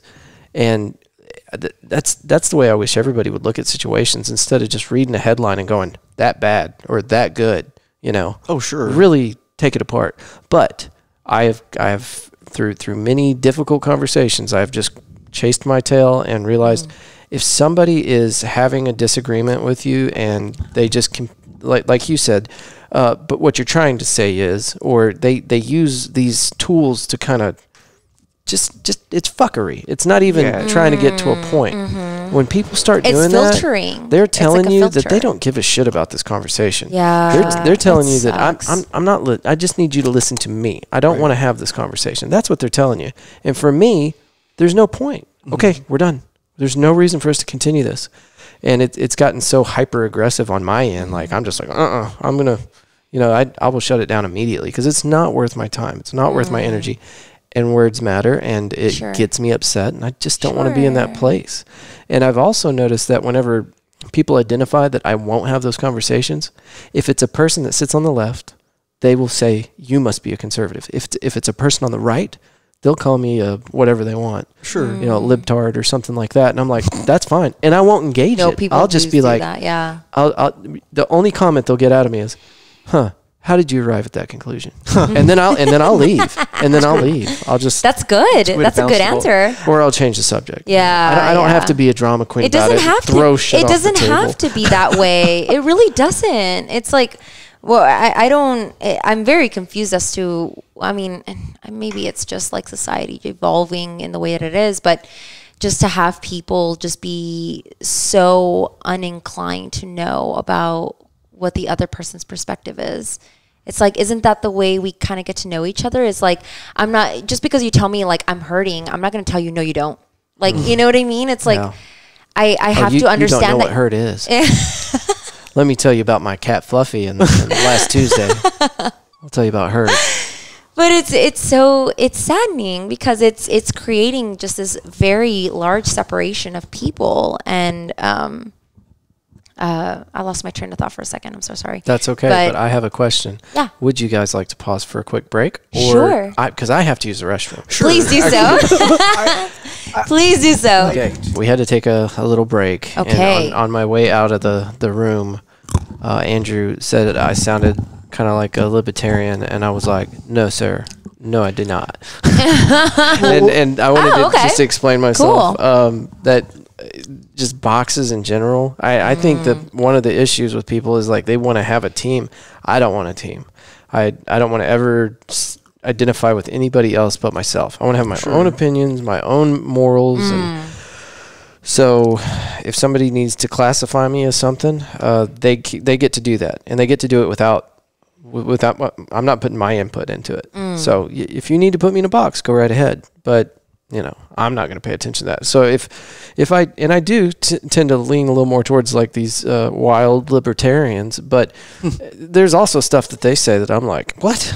You know? So I mean, there's not any party that I'm Mm. You're like just who you are. Exactly. That's and it. Mm-hmm. I, I really I think everybody should kind kind of try to do that. Try to Yeah. try to figure themselves out. Well, we, it's funny you say that. We were just having this conversation a few days ago because I, I, up until recently, I would have identified myself as libertarian, and then Mm. exactly kind of what you're saying. Yeah. There, there are so many things that mm. there are enough things they espouse that I don't really agree with. Where it's like, What? Yeah. we're, we're- I mean, I, I, if, if I I would have initially classified myself as that because I'm like, well, there's things on the left I agree with, and there's things on the right I agree mm. with, but even mm-hmm. things in the middle, there are still things I just don't agree with, and so mm-hmm. there really, perhaps with you, perhaps with me, there there really isn't like a, to use your word, a box that most accurately defines Yeah. what we. Um, Right. But I think so many people have a hard time. I hate to say this. I think so many people have a hard time thinking for themselves. Yeah. That Well, it's, it's easier true. just to say, "Oh, I'm a Or- this, that, or the other." Yeah, or allowing themselves to be in the gray. Yeah. You know, because it's not just black and white. It's They need to know who their there's people some are. yeah. There's sometimes a little room in the middle. Like it's a spectrum. Yeah. But You I know? think most people don't identify as. I don't think I don't think most politically involved people identify themselves as uh, not belonging to a party. I mm-hmm. think I, I'm I'm I'm not pulling from a statistic. I would assume at least ninety percent of people who consider themselves to believe to be politically involved would label themselves as one party or another. For, absolutely. Yeah. I mean, anytime it comes up, you know, people are, you know, I'm this, I'm that, whatever. Mm-hmm. And I'm, what, what You're are like, you? "That's oh, I don't care. I'm, I'm from the party of I I'm don't give a me. and what I'm Hello, what I'm Andrew. what I'm what I'm finding is it's it's that mentality. If you are able to be okay being in that mentality, uh, you, you're just going to have a better time. And even as a even as a ther even as someone who understands human behavior, me knowing, gee, I'll just be happier if I get rid of old patterns of you know, old patterns aren't helping me. For instance, being like deeply, deeply politically involved, identifying as one thing or another. But it's it's hard to basically be like I I reject this group in lieu of being able to think for myself and become and be the person that I want to become and be. Mm-hmm. Yeah, for sure. Well, I, I, I have to, my, my, my conspiracy theory brain mm-hmm. sees, you know, the powers that be say, you know, gee, everybody is actually working together and coming for us. How do we, how do we pit everybody against each other so that, you know, the top 1% can be left alone again? And I think they did a really effective job in doing that. So my, Yeah, like I don't disagree with you. you know, you you you said something very very important, which is that uh, you know, you know, w- w- it, it is frightening the things that we don't see, right? And I think it's important to realize that there is something called social engineering that is absolutely very much a thing. Yeah. Um, I don't see why anybody you, could believe that it's not. So so w- so we have to be mindful that the things that are on TV are presented in a way are presented in a very purposeful and Yeah. strategic It's way. It's supposed to Yeah. be clickbait. Yeah. It's supposed to be clickbait. It's supposed to grab your attention, keep you engaged. Yeah. you know look, look pay attention to what's over here while I The do stuff over here. yeah, the innovation of like of social media portals and and avenues and and you know how they um, correlate with uh, news media sources and all these different things. Like it's just all circulated together.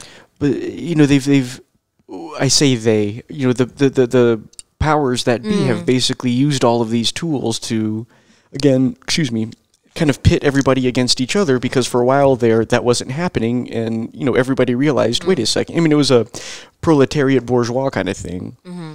and um but yeah the whole manufactured outrage thing I mean I think it's I think the powers that be have done a great job of distracting us from the fact that we're all being, I mean, taxed really, really badly. The, Yeah. the government is overspending Yeah. by a ridiculous amount. And Well, I don't think that we would have nearly as much uh, reservation about paying taxes if we weren't hosting a what kind of transgender reassignment education program in Afghanistan or something like that. Right. There's there it's it's more than just one thing. That what- Right. what, I just said there's something like that. Um, the verbiage is off. I didn't say it quite right. Right. But it's a thing right, right. this this coronavirus bill was supposed to be to help Americans, right? Right. And I understand that we've got other people that are affected by this too. sure. But is this the time to be patting the palms of our lobbyists in order to, you know, win favoritism? But hey, man, that's just how it works.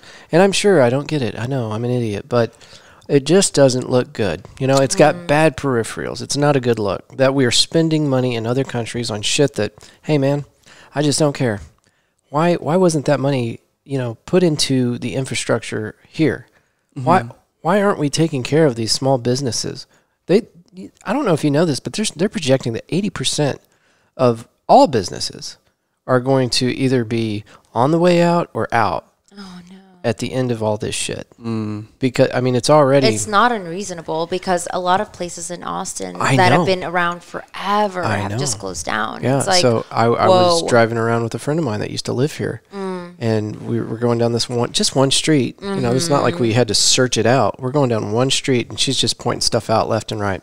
yeah. Coronavirus got that. Coronavirus shut that one down. That one was It- open it- a year ago. cre- you know, it's, creating a very interesting like trauma response for everybody because it's like you know because uh, it's very interesting to see how people who are surviving through this experience right now are going to be affected at some time in the later future because w- there's a level of isolation there's a level of like understanding that yeah like these these smaller businesses are just not going to make it and and it's, it's not like, just uh, a we're- we're- monetary loss. we're visualizing these like really well-known um, restaurants um, Iconic. business yes like yeah, just and in a way it's interesting because it's like we're, we're seeing them as casualties it's like we're, we're walking through our life and we're trying to figure it out Mm-hmm. and then we're seeing all of these businesses close down so it just feels very frightening because it's like okay like i feel like everything's closing in around the most disin- disingenuous statement that I've Mm-hmm. heard over the last year is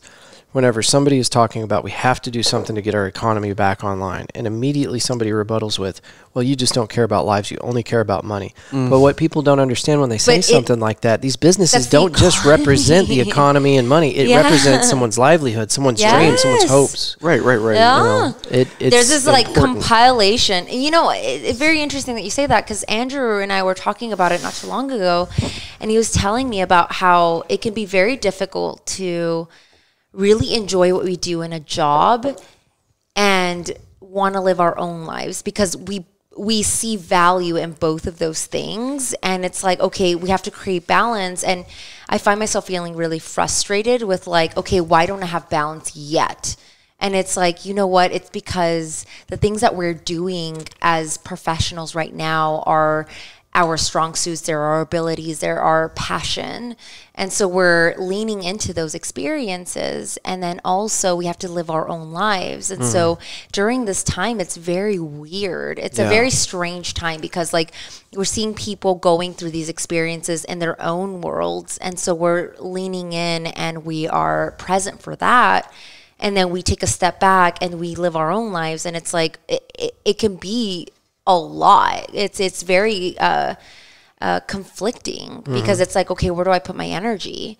If I love both things, where do I go? Yeah. You know what I mean? And so, like Andrew and I were talking about that not too long ago, and I'm just like, oh my god, that's so true. Yeah. Because I'm having it, I'm having such a hard time, like I mean, figuring out a balance with that Yeah. and understanding the perspective in the world of other people, and I can listen to it and be there for it, and also understand my own worldview. You know what I mean? Well, it's mismanaging your your energy is similar to mm-hmm. mismanaging, you know, the mm-hmm. the you know the the, the mismanaging mismanaging government spending. I mean, I hear Right. what you're saying. That I first of all, I I didn't realize we were giving bunches of money to Afghanistan for basically gender studies. That's news to me. Dude, you need to look at the list of shit. I mean, it's it's unbelievable. Uh, and it's it's every time they pass a bill. Knowing that- Anytime they pass a bill that has to do with budgeting, they do this. sure they just slip something in there, and it's But it's like it's not something. It's like 200, 300 different like subcategories. I mean, it's just millions of dollars leaching out into other countries. Well, and you're and you said something very important, going back to kind of what we were talking about a few minutes ago, where if you bring up, "Hey, we're mismanaging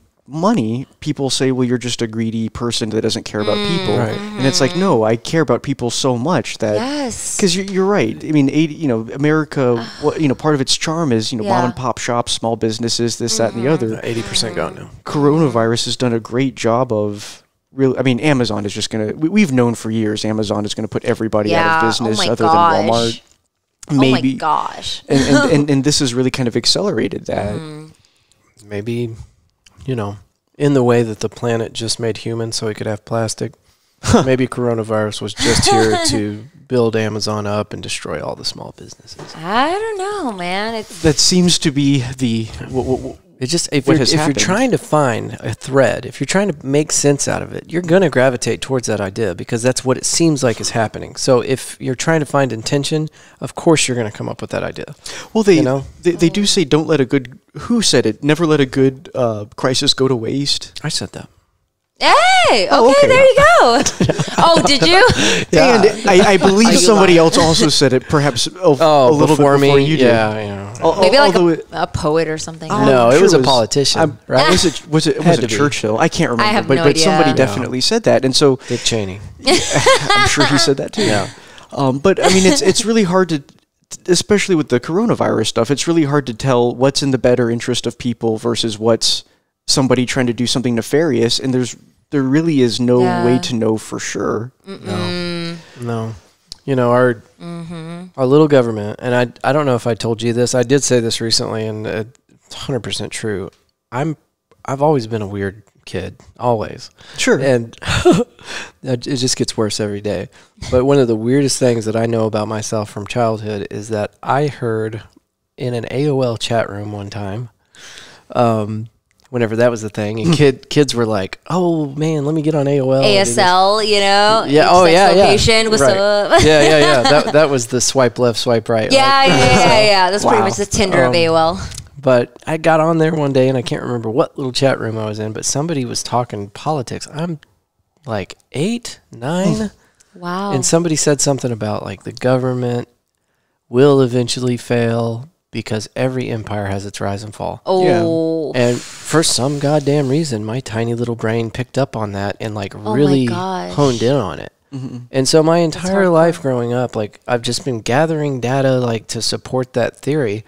And I think it's because it's easy to see that that's happening. Like you- Yeah. you, you know, I Yeah. think probably our pinnacle was at the um, you know, the success of World War II. And, you know, you, you could say that, or maybe maybe it was the 90s, you know, early 90s, we were at the top of our game or whatever. But at any rate, I think it's clear to see that like, things are not going great. no. And uh, i- there's a pretty good chance that that, that, that statement is, is going to uh, Yeah. show itself to be true again. Uh, I don't think we have. What is that? Dialectical behavioral therapy. So Dialectical. uh, short for DBT. but essentially, what that focuses on is emotional regulation, distress tolerance, self soothing, and being able to kind of guide in communication. So, assertively communicating, being able to set boundaries as effectively as you can, being able to have conversations where you can understand where you're at and I can understand where I'm at, and we can be happy. And you know, so dialectical behavioral therapy is like the awareness of self in the Okay. present moment, the awareness of self in experiences where maybe em- emotions escalate, mm-hmm. and being aware of being able to soothe them. You know, so it, it incorporates so many tools of being able to interact with other people. Did I just totally throw you off track? No. question. Okay. no, like I, I'm happy to explain it. I just kind of like jumped in there, like, wait, what's that? Yeah, no, DBT is so freaking helpful. And DBT is where a lot of the, these practices come into play, like meditation, yoga, um, sitting quietly, like being aware of self, like internally breathing, like wha- whatever. Like all of these different activities are directed towards being aware of the present moment and being here now versus like lost in my head over the future. Right. Because it's so easy to get there. Oh yeah. to, to, to, to just oversimplify all of that what you what you want to do and what you need to do are often opposite things and dbt is how do you mm. negotiate those things Yeah. This has to do with the emotional and, and logical. the rational and Rational. It, it, Right, it- right. it kind of creates this ability to get into wise mind wise mind. wise but, mind but when you when, that's the middle when you're talking about we're witnessing the fall of an empire what what do we do as individuals um, I mean that's a really hard question to ask we've never really lived through this before Well, Yeah. I, I, I'm, I'm starting to see kind of a pattern whenever I look at what, what kind of hone me in on all this is the talk of raising uh, minimum wage. Mm-hmm. It's like, okay, well, why not? Okay, let's look at that. If I pay you a hundred dollars an hour for minimum wage, mm-hmm. you're not going to be any better off than anybody else. You are mm-hmm. still a minimum wage earner. especially if you don't mm-hmm. now that you're making more money if you're not doing the right things with that money it's all coming out in the wash absolutely You know, there there are people where when they get raises, they start spending more than their what the raise was. And I'm doing the opposite of that. Well, which Yeah. is which is what you should do, which is the right thing to do. Mm-hmm. So I, I, you know, I'm, and this too is I, I my guess is is you and I are on the same page about this, but this is also a very contentious issue because people say raise you know, no one, uh, nobody working forty hours a week. Uh, shouldn't be able to pay the bills. Mm. Raise these people's wages to fifteen dollars an hour the second you ex- start to explain, well, here's why that might not be sustainable. Here are the unintended consequences of doing that.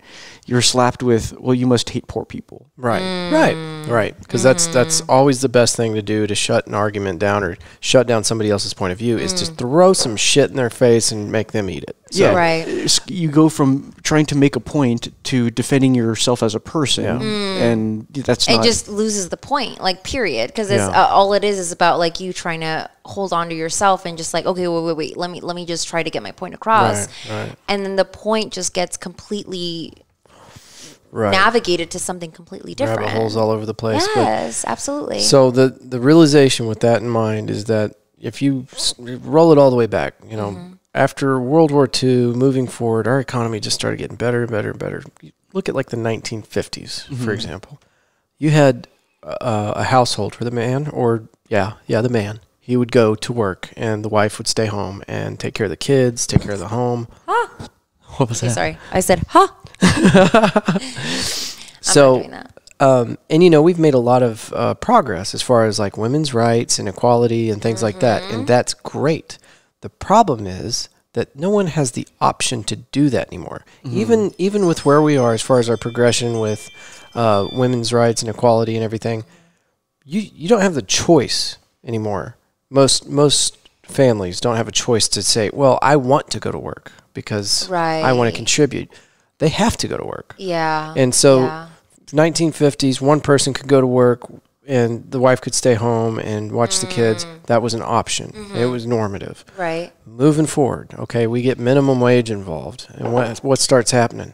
Well, now we both got to go to work. Or Yeah. maybe dad's got to stay up, get a second job, something like that. But as as minimum wage increases, yeah you start seeing the value of of of what I'm earning go down. And mm-hmm. now it's impossible. Here we are mm-hmm. 2021.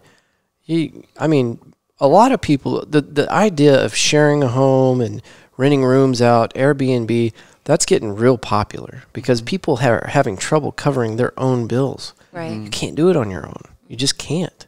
Whereas you could, you know, a long time ago. Well, I to, to an extent, I, I disagree slightly. Okay. Uh, I, I think in extreme cases, yeah, you're right. That Just just society has just left some people behind. Um, but the reality is, is um, a lot of a lot of there are a lot of people who are struggling, and part of the reason part of the reason they're struggling is is choices of their own. And I'm Sure. I'm absolutely not painting with a broad brush. I'll even go ahead and say that this is fifty percent of less than. 50% or less of, of people who are struggling Yeah. but I, I and I'm, I'm pulling from people that I went to school with, Yeah. um, people that I went to a private university with, Yeah. and here we are ten years later, and I see them posting on Facebook how they have no money, this, that, and the other. What I find very, you know, for I didn't get a smartphone until I was like halfway through grad school, Yeah. and I got one because I needed to. Yeah. I tell this to Jana. The first time I spent more than like a hundred dollars on myself, I was like 28 years old. Yeah. Um, Yeah. Just the idea of it was a watch it was, and it was a watch. it's beautiful it is still beautiful Actually, it's, it's, it's actually it's a silver watch Well, it's, it's, it's getting yeah, it's, that up there. ironically it's getting repaired right now because it's broken. But but but I but I remember Sorry. I remember I, I didn't have an iPhone. I, I didn't. I mean, I, I went clothes shopping every like two or three years. I still kind of do that. Jana has- has pointed that out. Yeah. You know, I, I just I have to push 'em to I it. act. I you know my first apartment was a 380 square foot you know Mm. efficiency studio. Yeah. yeah And I I you know so so I, I me personally I think I made me personally, I think I made a lot of sacrifices so that I wouldn't have Mm-hmm. to strut. Now, it was 8 years worth of sacrificing, and I think a lot of people have a hard time conceptualizing Sure. saving and investing for a decade because it's like, but I but I have this now. absolutely Um, yeah and, and certain things like having a hundred dollar pair of shoes, having a three hundred dollar outfit, having Yeah. the most recent iPhone. Right. These are all things that have become normalized, and these are Mm-hmm. all things that add up. I know people who uh, there's one person in particular, and I think you know who I'm talking about. Name drop. Come on. I'm not going to. Ah. 'cause No. I feel bad enough because if they listen to We this, don't need to do If they listen to this, they're going to know I'm talking about them. So you know who you are, and uh, uh, thank you for letting me use you as a as a as a punching bag here. But there's someone that I know that doesn't really have a job, and they Mm-hmm. ju- uh, last year they just bought a brand new car. Mm. And they still don't really have a job, and they kind of complain to me. I don't really have a lot of money to do anything, and it goes to the thing. I'm like, bro, you, y- what? Your monthly income goes to Yeah. your car payment for Yeah. a car you don't don't Yeah. need. yeah. Um, and so it's like it's hard for me to feel bad for this person. Oh, I, no, a hundred percent. And I, I think we're both right. But at the same Absolutely, because that is to be taken in consideration. And like we talked about And- earlier, thirty-four thousand dollars debt is nothing for people. Sure. No, let me just interject though, because I mean, I come from the perspective of, you know, I I lived in an area and I was surrounded with people that did not have that kind of like uh, intellectual, financial savviness um, to where I'm learning it a little later on in life, which is totally fine. But um, but I also kind of have a little bit of compassion for the people that are just not aware For of those sure. things For sure. because it's like I, like I grew up in an environment like I was raised by a single mom like she is incredible and she just knows how to get her shit done Yeah. um, do I know how she does it? No, absolutely not.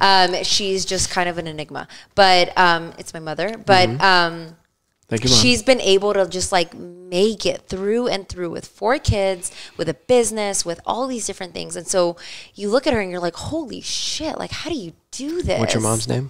Her name's Lucy. Is Lucy going to listen to this? Oh God, I hope so. Lucy, thank Lucy- you so much. You did an Lucy. incredible job. Jana is If incredible. you if you listen, if you're listening right here, She's looking at the camera. I folks. love you. Oh. I love you, Lucy. I love you, Mama. I was gonna hit a button, but then I'm like, Oh no! I don't, I don't know if that's the right button. I Oh was- no, that's okay. It doesn't have was to be the right one. I was one. going for.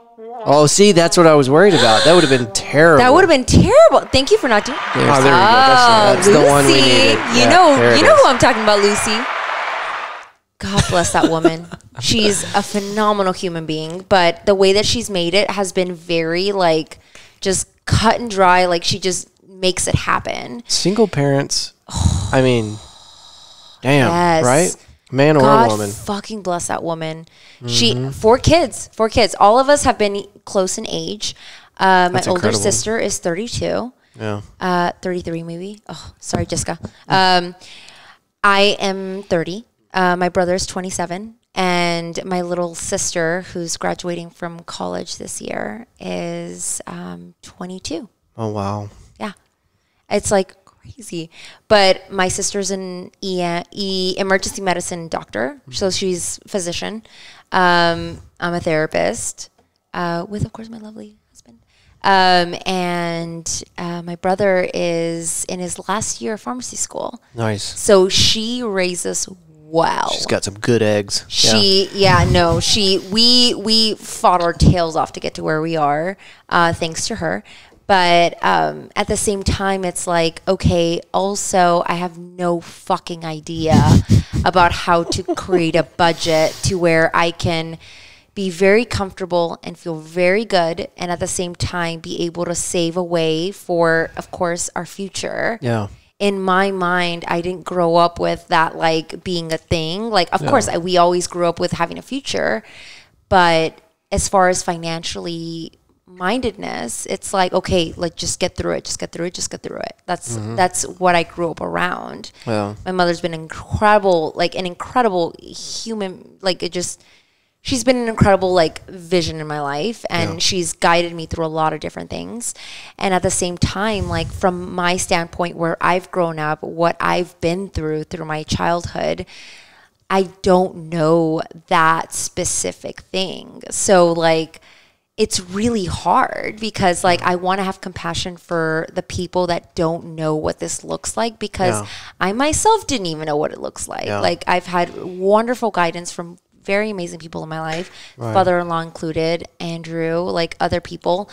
Um, but it's it's difficult. It's difficult to be in that situation to just be like, okay, shit, like I don't know beyond a certain point. And the conspiracy theorist in me doesn't thinks that you know not teaching personal finance in public school. I Right. Yeah. uh, the the conspiracy theorist in me doesn't think that's that's an accident. Yeah.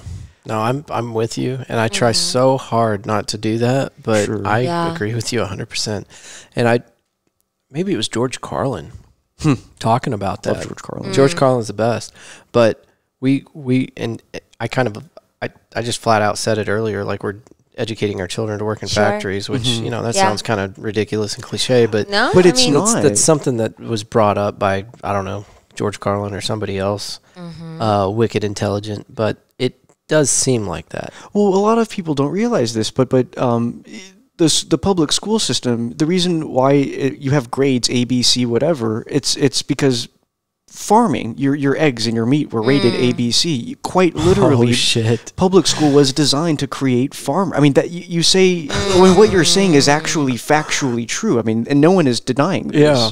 like that's that. What, what, what you're realizing is the way that public school systems were set up, however long ago, just that system isn't working for modern day. Ugh.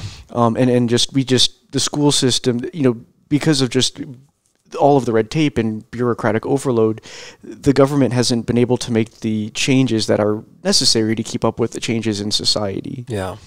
There really ought, there really needs to be in public schools personal finance classes and mental health classes. Yeah. At least Mental as an health. Dude, elective. seriously, At at least least, start- elective. normalize the shit. Yeah. You know what Start I mean? Start with mental health. Start oh with that. my gosh! That's where you. I remember seeing this little girl. Like, gosh, this was a uh, year, year and a half ago or so.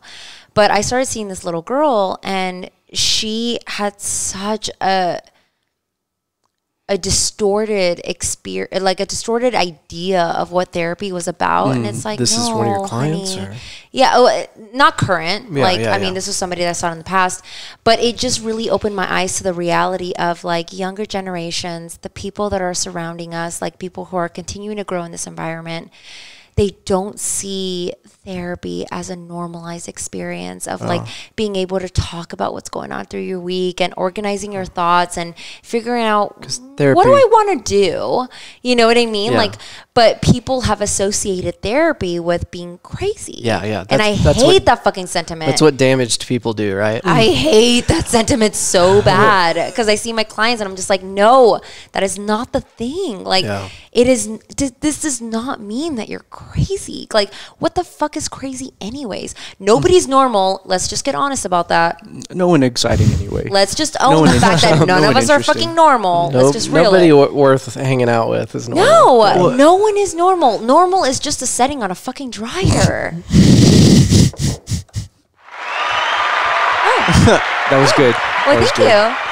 I had to. That's that's awesome. Should I do like a like a queen wave Yeah, or something? yeah. Okay, whatever. Um, but it's but that doesn't exist. Yeah. Normal doesn't exist. So I I see these young little girls that I see and it, and they have this perception of like what they're supposed to be in Mm. our environment and it's like no. Like no that's not real. That's Mm-hmm. that's created by social media avenues. That's created by twitter fucking handles Yeah. amongst other things. Like you look at an instagram photo and it's like oh my god they have the perfect life. No it is not perfect people are flawed as fuck Yeah. let's get honest about it like it's it's not even it's not anything that is associated with where you need to be Yeah. period right. If, if period I think to to the to the extent of what you're describing, I think the most damaging word for developing people is the word should. And absolutely Let me use the restroom real quick, and I'll explain why that is. Ah, i did use the restroom too Okay. well, while y'all are gone, I'll just talk to people about sloths. I, uh, you, you know, childhood is rough on everybody. It is. but Kids I are can't- fucking ruthless. I can't imagine. They're very honest, but they're very Yeah, ruthless. being a 13 year old girl has got Yes. Mm. to be the worst thing on the planet, right? I mean, Don't okay, so it's it's not the worst thing on the planet actually. Um how about hardest? It's it's difficult to certain degrees. Yeah. Because when you're growing up and you're trying to figure out who you are, like it feels very uncomfortable to begin with. And when you have populations of different um, groups, different personalities kind of coming together, they start to create this like standard, Yeah. a bar that you have to meet. Mean Girls. Yes, absolutely.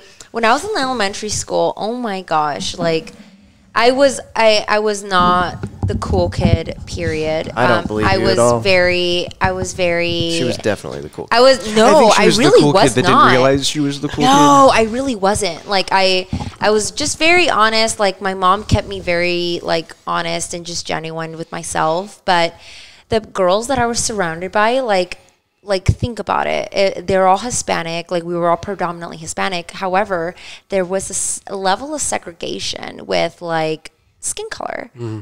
And I was a, a nice light brown, and I, I, I was very proud of it but the other girls that were the popular ones had light skin or like bright eyes or um, colored eyes or whatever. So immediately they became the popular girls. And Yeah. so it's very interesting to look back at some of those ideas and like even as a child when I wasn't really aware of just like that correlation or just what created separateness between people. Um, that I would look at these moments and I'm like, oh my goodness, like that's so that's kind of appalling in a weird Yeah. way because unfortunately like depending on the area where you live in depending on the whatever like there's some sort of hierarchy that becomes to be created It's just human, right? I mean, it's it- very it- it's very it doesn't human. matter where, Absolutely. what time, like 1800s, 1900s, Absolutely. 2000s, you're going to see that absolutely shake out like that. Yeah. And if I were to look back at some of the girls that I used to be like quote unquote friends with or not friends with or And whatever. they're all listening right now too. yeah. Okay. Just so you know, I know where you're at. Um, but a lot of them are just like either still there or either like having had kids or whatever. Um, some of them have created wonderful careers, which I'm so excited for them for. Um, but we've all gone into such different directions. There was a time, weirdly enough, like a couple of years ago, where a lot of my elementary school friends started adding me on Facebook. They wanted to sell you Advocare. I was I was so Essential oils. confused. I was confused, but in a weird way, I was kind of like embarrassed or like I felt shame. Like I was like, well, what if they look at me and they think that like I'm not cool or whatever. Yeah. The fact that I even thought that I was like, oof. I need, to, I need to look at that probably. Um, and I'm still friends with a lot of them on Yeah. Facebook, which I'm very, very happy for. Like I like to see their lives and how they've evolved. And, now you've got, like, a lifetime supply of Advocare. Yeah, right. Um, no, I don't have any of that, but um, I just go to Ulta. It's good. There you go. Um, but I look back at these people that I've known through elementary school when we were children, and it's so wonderful to see like how far they've come, Mm-hmm. and I'm so happy for them. And at the same time, I'm also like, kind of like aware, like like I'm just like opened up to Yeah. the reality of some things look a certain way, but as you grow up, you get to determine what you want to have in your life, or what what you want your life to look like. How strange is it that we hold on to high school for so long? Yes. Because I feel like, and I mm-hmm. think this is more just me as a person, mm-hmm. I finally got over that. But I think Yeah. people hold that shit. In, mm-hmm. Yeah. I think people hold that shit until the day they die. Because I, I don't, I know from my personal feelings that I've always thought about, like, you know, what this person would think about me or, you know, a handful of different ideas that all kind of keep me tethered to that time frame. Sure, sure. And then I hear other people make comments like she just did. Like, man, you spend a lot of time thinking about high school. That's mm. kind of weird to me. But I do it too. And the older I get, the less it's like that. But Sure. my f- formative adulthood years, I really spent a lot of time worrying about you know if, if this if this is where I should be in respect to what happened back then I guess I don't know does that kind of make sense Makes perfect sense. I, I, I joke with all of my patients that we spend the rest of our lives fixing whatever happened to us in childhood, and I define childhood as zero to eighteen.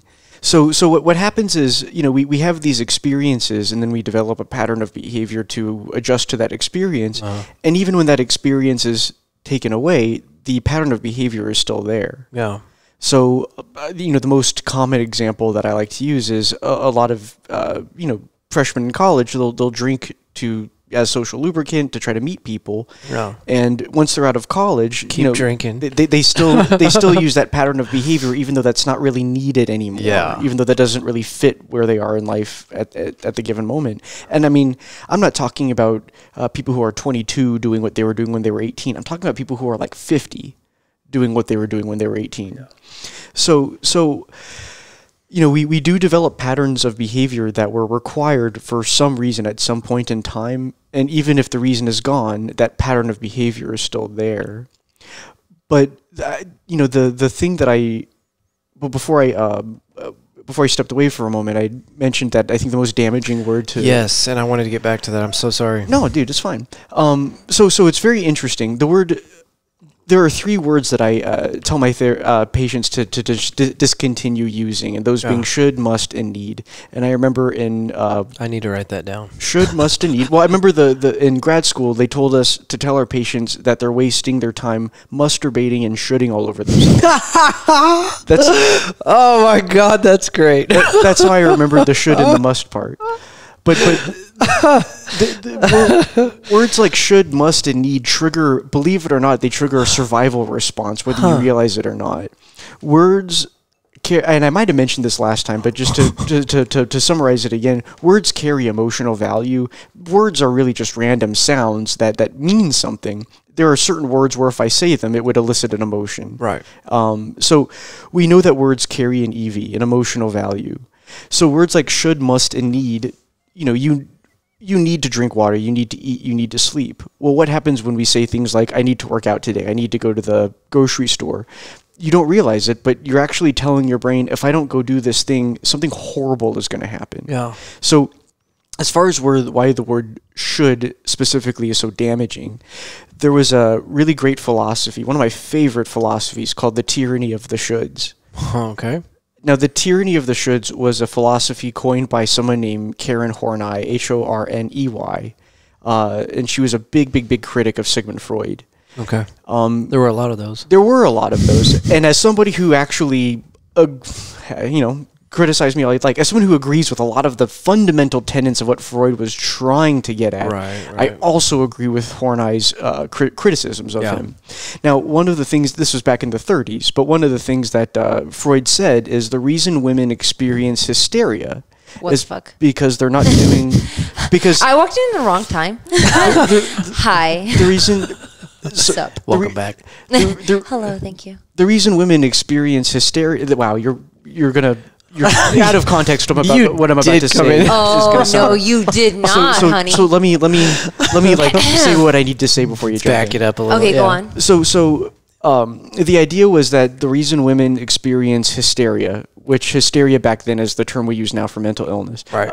What, what they meant by hysteria then is what we describe as mental illness now. Mm-hmm. But what Freud said was the reason women experience hysteria is because they're not doing what they should be doing. That being cooking, cleaning, bearing children, and staying at home. Calm down, Jana. It's okay. So so Horney had had Give give him a minute. We're almost there. Hor- Horney had had perhaps uh, appropriately clapped back and said, "No, women aren't hysterical because we're not doing what we should do. We're hysterical because we're being treated as second-class citizens." Yes.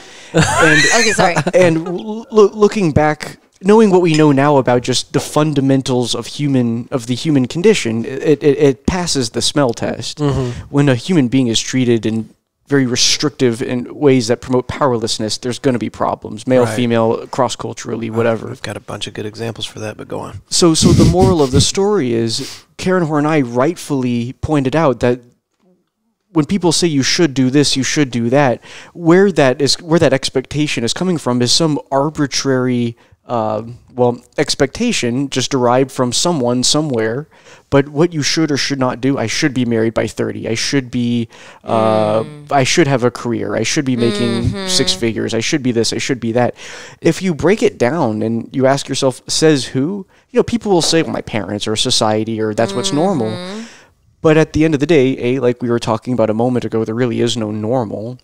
Um, B, if you live your life uh, by what you think you should do, you will you will never actually be satisfied with what you're doing because you're trying to subscribe to some some arbitrary entity's expectations that you Sure. can't really even define. Sure. So I, I encourage everybody: don't say what you should do. Say what you want to do. Say what's healthy. Say what's productive. But eliminate the word "should" from your vernacular and replace it with "want." It would be healthy if Exactly. I want to. Exactly. Okay. You I know love what? That that is so great. I, Yeah. I'm, I'm coming up with all sorts of great tattoo ideas today. Oh, good for well, I mean, they're your ideas, but I might put them on my so body. Hey, go for it. also on another note, my mother called me right now. Whoa! Two minutes ago. Uh-oh. That's when we were talking about I'm it. gonna call her. Uh oh! Wait, Hold if you can Wi-Fi to this thing, and we can put it Can on we the Wi-Fi? podcast. Yeah, Hey, mama. ¿Cómo estás? Ay, muy bien. it's picking. Uh, I'm in a. I'm I'm uh, doing an interview right now, mama. Do you want to say hi? Bueno. No. Do you want to say hi? No, no, no, no. I just want to be sure you're okay. No, no, no. I'm okay. I'm okay. I'm sorry. We've been busy today, but uh, we're doing a podcast right now. Do you want to say hi to everybody? Just say Say hi. hi, Just say hi. Say hola, hola a todos. Hola a todos. Hello, everyone. Oh, hello everyone. Yeah. Oh, I was just, uh, mommy, mommy. I was just talking about you right now in the podcast because I was Oh, really? telling, I was talking about how you're a single mom and you raised all four of us really, really well. No, di- diles cómo peleo por ustedes. Uh, Diles she, que los defiendo contra todo el mundo, sean she fights for us and she. Oh, what's up, baby? Doesn't matter you were guilty or not, I always fight for you. Isn't she amazing? Even when you're acting up, probably. Yeah, even when I'm being bad. She knows when I. She knows. She knows when I've been bad. She She, knows like when I've been bad. My my mom knows She that. She doesn't want to answer that. She doesn't want to uh, give you any kind of negative reinforcement. Oh. Do you want to say anything else, Okay, mommy? Ma. I'm, I'm, I'm in the middle. I'm in the middle of recording. Do you do you want to say something for everybody? Oh my God, no, no, no, no. Yes, mom. No, no, no, no, no. I was just talking about how you how you did such a good job, like with telling us how, where to go and how and how to achieve our dreams.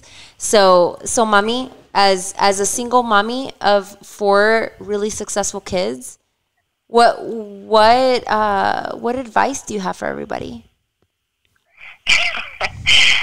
Oh Diles, mama. It's, it's been so hard being a single mother. Uh-huh. But, but I need to, if I need to be start again, right over again, I can start with no problem. So you you live life on life's terms, huh? Yeah, I, I cannot change my kids for nobody else. God, Isn't she amazing? It's pleasure for me be, be your mom. Oh, mommy. And I'm proud for you guys. Oh, Very proud.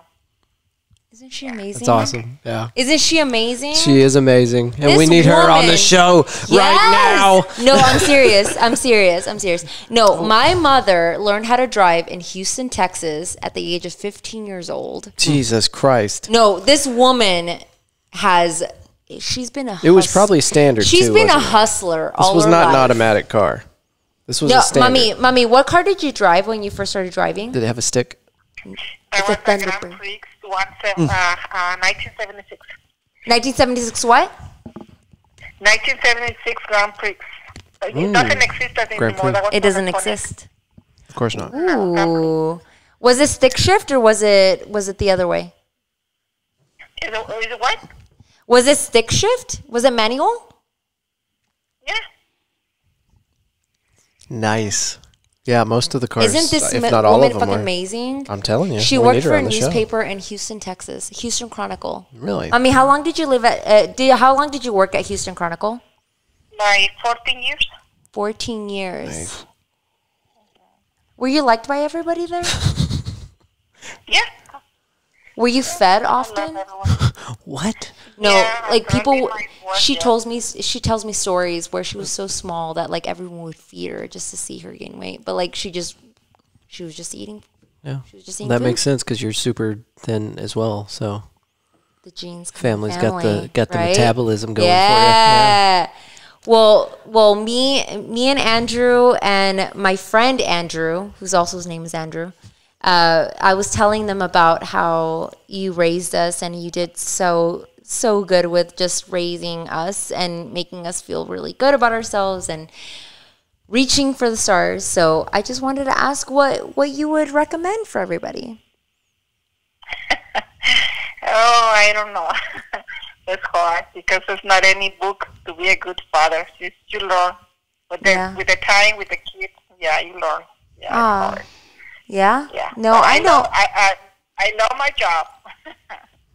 Mom and uh, mom and dad, right? Mom and dad. Well, I just want to make a, a, a, a good, uh, be a good mom. I don't want to be a good dad. good mom is enough for me. Yeah. Okay, mommy. Okay, well I'll call you in a little bit. Okay. Okay, I'm gonna charge you for that. Okay. Send send the invoice.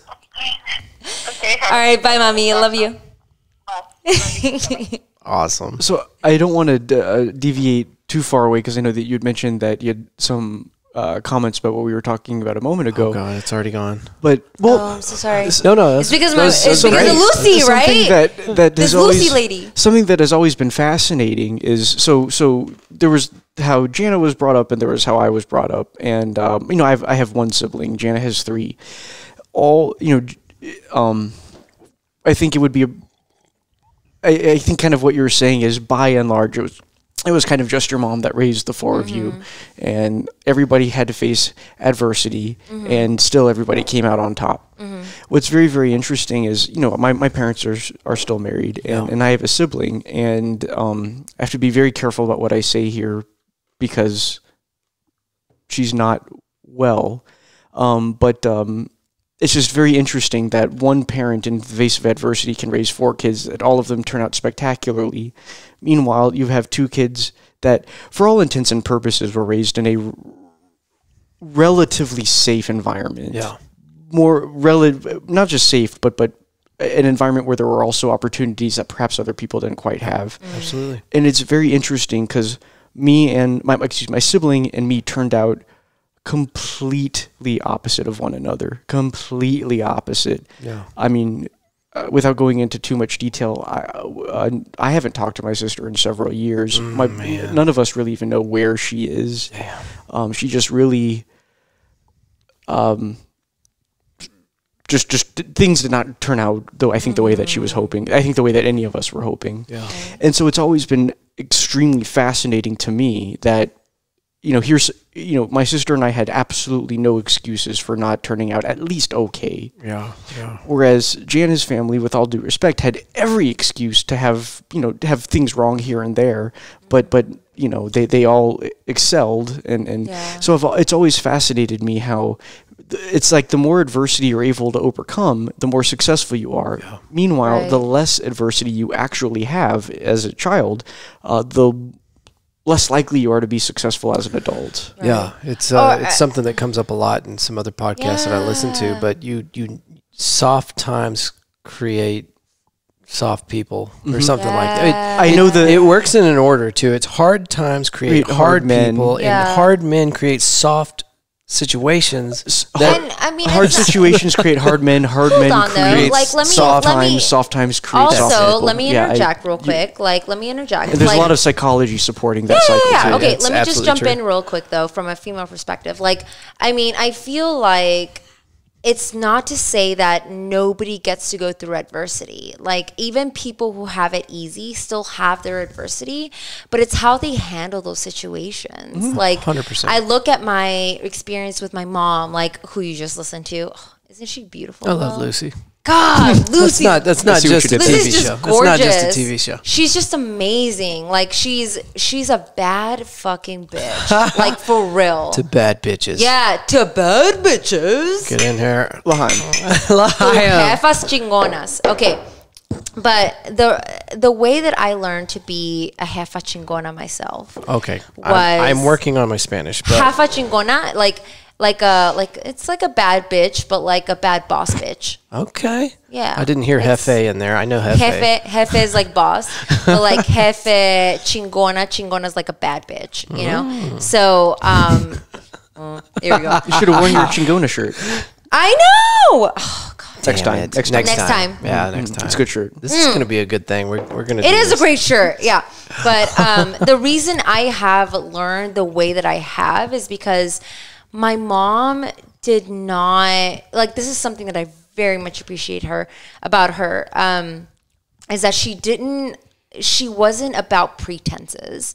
So Yeah. like when we were going through really difficult times, she ensured that we knew like that it was it, it was a very different time, but she did not let us be in that situation of like we don't have XYZ. Yeah. You know what I mean? So she allowed us to know, like, you know what, you're going to go through really hard times and we're going to have to figure this out. Yeah. And we're going to figure it out together because that's the only way we're going to do it. And so that's like a lot of times that's how we made it because like my mom worked her tail off. She has a multiple different um, professions that she's engaged herself into. So she's a CNA, amongst other things. She's also a cosmetologist. She's also an anesthesiast, like or an anesthesiast, um, esthetician. Um, uh, plus, uh, she's a business owner. She is somebody that does a lot of like um, experiences with like uh, collaborating with people because of course like i mean she used to own a laundromat so like um now she's turning it into office buildings which is fucking amazing That's awesome. That's and she's awesome. renting them out and it's god fucking bless that woman That's amazing. she has an opportunity entrepreneurial brain Yeah. she and like and it reminds me so much of Andrew because Andrew is very like uh business minded so it's like if he sees an opportunity he just like he immediately soaks it up he sits on it he thinks about it he like puts a couple ideas here and then he puts it in action my mother Yeah. is the exact same way You know the best thing about Lucy, at, at, at, from what you're describing, and as, Yes. as I'm t- as I'm taking the information, the best thing about Lucy is that she didn't have to do any of that. She could have just no no thrown her hands up. But the but, But the instead- reality is is that my biological father set a fire in her. And so she was like, if I'm gonna do it, I'm gonna do it on my own. And I'm gonna make sure he ha- she's she owned a business for a total of 27 years. Is that while she was running the paper? No, she it was after she left the paper Oh, okay. in Houston. Oh, So she moved to South Texas Okay. with us um, when I was three. Um, but she started the business of the laundromat and the convenience store and amongst other things. Now, when you say Houston and then move to South Texas, hmm. that that hurts my brain. It's one of those. What did we call that? Double bind. Double. It's a double bind yes, for me. yes. Uh, moved moved to from from central south to south south. Oh, yeah, to South. but like my mother has a personality and she has a wit to boot. Like she is just so approachable, so so thoughtful. Like she's just really somebody that you want to be friends with. Like you meet her and she will be friends with you in in the line that we're waiting for to get our burger. Yeah. You know what I mean? Like she will be friends with anybody.